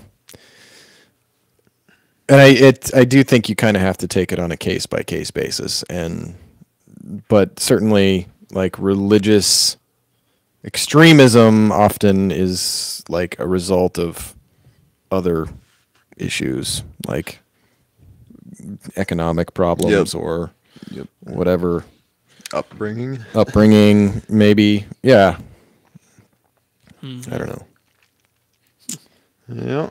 that's interesting uh you guys want to do one more controversial controversial question Might as well. All right. We're losing viewership, so Oh, we're- we're- might be a little long in the teeth. Back, let's talk about something like BDSM. okay should teachers be allowed to carry guns at school Oh Hell God. yes. Absolutely. If they have a concealed carry permit, You know- by all means. if bullets from some unknown shooter are flying all over the place i definitely think we should have lots of people with guns shooting randomly just kidding No, As a teacher, I don't want a gun. Don't want one. Have no interest in carrying a gun. Never uh never really I I'm totally for your right to bear arms for sure. I just don't want one. And I don't want kids to I don't want kids to fear me because I have a firearm. I don't want kids I don't even uh, Do you be think you quite should even know if you have one or not? I'm sure they would. Yeah. Well, it'd be a, it'd be a huge issue for them not to know. Hmm. Why? Like, well, it, like okay, so let's say guns are now allowed in the classroom. I mean, they're gonna hear about it. Obviously, they're well, gonna. they'll, they'll hear that it's passed a law, but they're not going to know. Oh, hey, Mrs. Bruns is packing a, Yeah. you know, a Glock nine millimeter in her bra strap. Oh, okay, yeah, I can. s- I, yeah, I mean, it's not gonna. You're not gonna put it on your belt loop and here's your Glock. You hmm. know, Yeah, then it's not really But concealed. isn't that part of the? Isn't that part of the whole draw of it? Is like if bad guys know other guys have guns, then they won't. What? Isn't Yeah, that like I part of the argument? Like in other words, you should be conspicuously. I don't know. there. I'm. I would be really, really, really uncomfortable with eighth graders having direct access to a firearm. Why would they have direct access to a firearm? 20 of them want to beat me up and pin me down and steal the gun or Um, five of them They- Yeah. they make- Kids can actually be make, uh, pretty. biometric fingerprint locks. For, Okay. For firearms, so you can have a gun in your pocket, and if I take it out of your pocket, I cannot access the trigger, or okay the safety, or the clip, or anything, unless I. Well, of course, I could not get. But how, how? I have no idea. This I have no idea how available. Like how common is that? right and that'd be an ideal situation for sure but Sure. oh, I've, I've got a uh, family member who's got one. So here's a related question. How do you feel about like metal detectors and yeah i, I would i mean it'd slow everything down for sure but um, i'm for as many safety measures in public education that need to be taken. I'm totally for that. I just don't know how how much more safe an armed teacher would be than an unarmed teacher. So, or if that would cause more problems. but you know, beyond, I'm a big fan of locking all of the doors except for the office door. Yep, I think that's sure. a great step.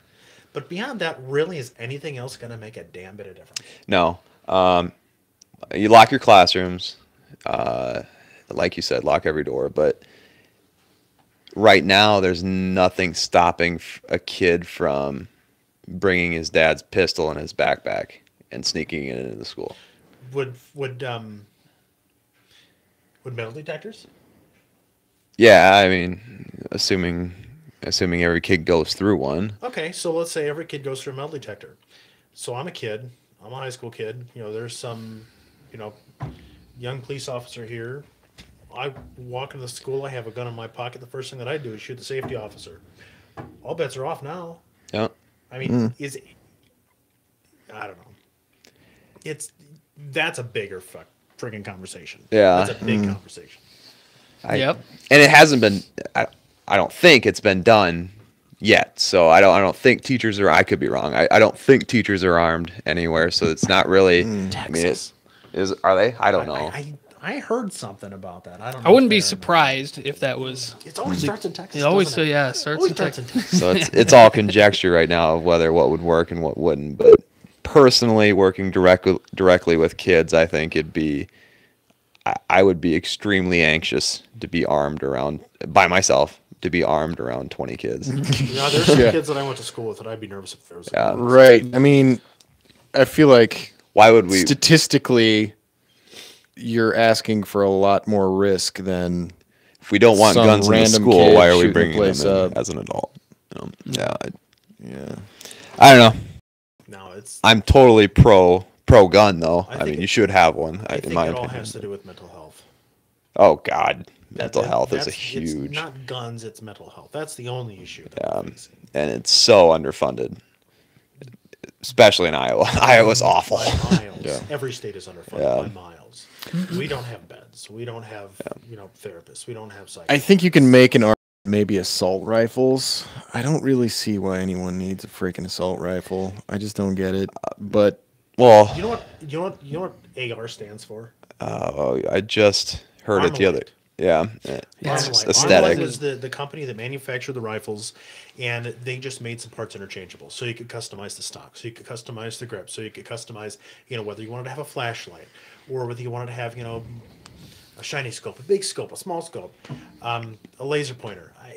You know, the the term assault rifle is so misused. It's not even funny. You know, I I have you know deer hunting rifles that are a hell of a lot more powerful than you know a typical assault rifle that shoots a you know a 223 um you know and they can shoot Yeah, two- just as fast Two twenty threes aren't that big. no I mean, you know the, the only the only you know. difference between a assault rifle and you know a hunting rifle is the look that's the only difference Right, and I think I think what we're what Dave might have been getting at is like your military style weapons, like your M14s or your um, uh, like your machine gun type weapons. I, I don't see a practical use for that. which are already illegal in the United States. Right, So you have a yeah, A yeah, firearms yeah. license. Yep. Yep. Yep.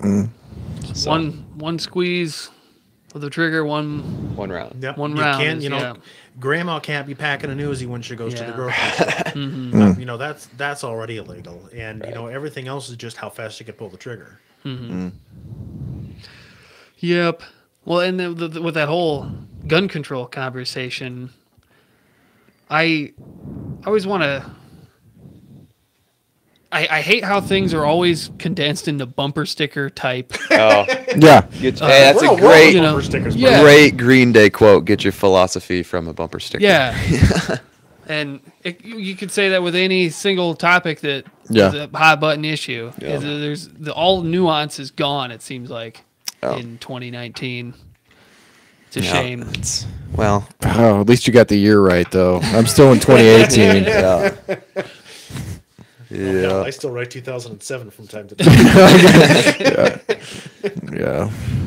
Yeah, I I wonder if that's kind of how it like whatever kind of year your maybe your brain finally is fully developed and you're like officially an adult and you kind of stay that way in your mind forever.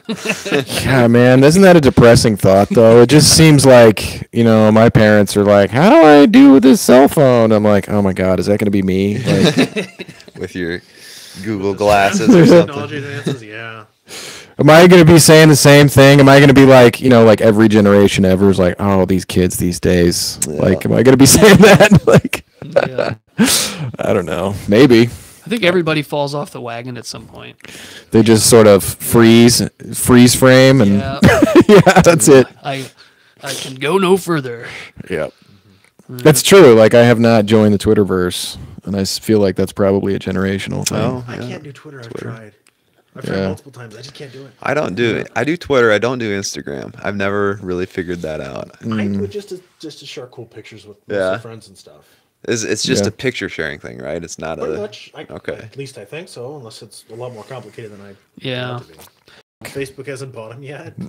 Everyone, yeah, yet, yet I don't know. I think Facebook might be kind of peeking out. yeah. It's got some bad bad PR and It's had some pretty rough PR in the Yeah. past year or two, isn't, hasn't isn't it? that the best time to jump on it after it gets a lot of PR? They get their shit straight.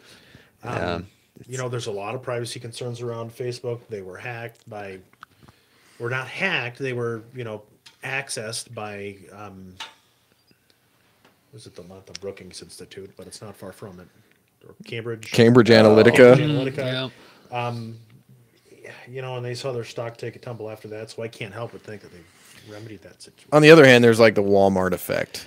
You can grow so much, But- and then you're done. Like and I you know, like there's only so many right now. WalMarts you can put in the world But before working with like kids and I coach high school basketball and I teach middle school. No one really uses Facebook and it- like the kids don't. It's all hmm. Instagram. It's all Snapchat. It's absolutely huge Huh. with teenagers and, and really Facebook's kind of It's like what the what the oldsters us use. yeah. It's for us. Yeah, it's for us. use.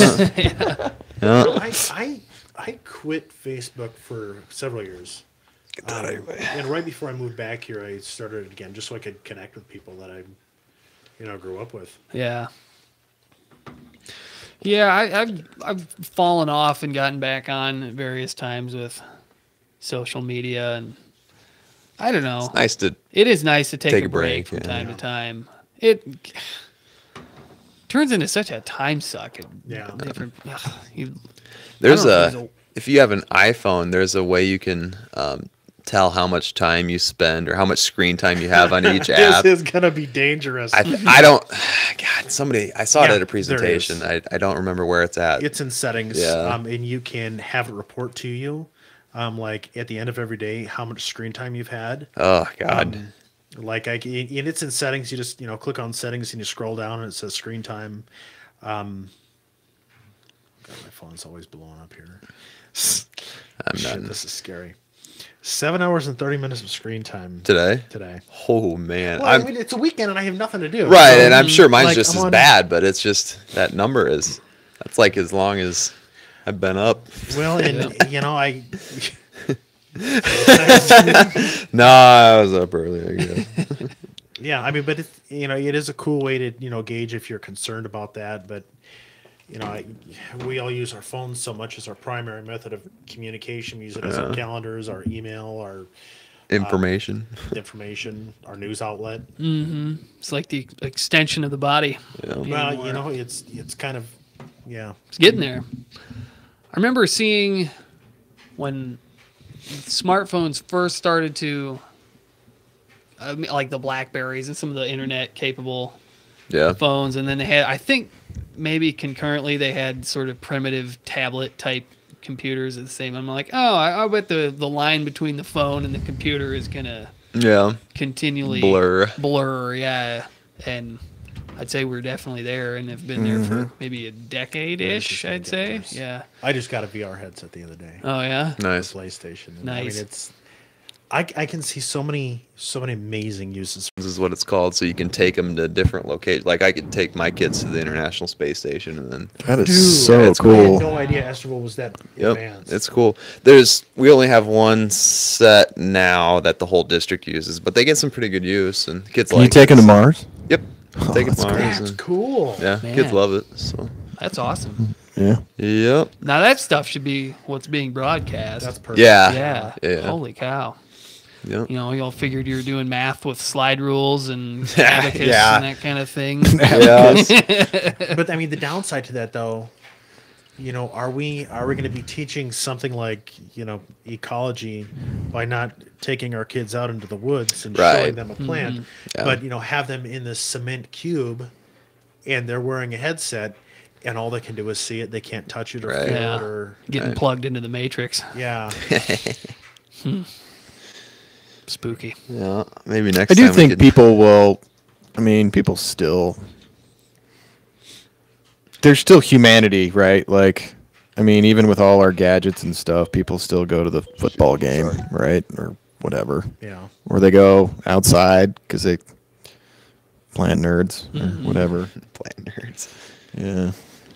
So is your wife after you kyle Yeah. Oh, I sent me a Kelly. If you're watching, I'm sorry. I left the bologna out. Didn't put it back in the fridge. Ooh. So, whoops. Well, now she has to throw it away. Yeah. Does that stuff Actually, go she doesn't bad have though because yeah. it's it's so preserved. yeah. Yeah, it's just be salt fine. and byproducts, pretty much. leave it there for a couple of days. yep. Spam of a different. salt and like eyeballs, Yeah. liquefied eyeballs. Slime. Yeah. I love Well, bologna. thanks a lot, guys. Yeah, for- it was for fun. being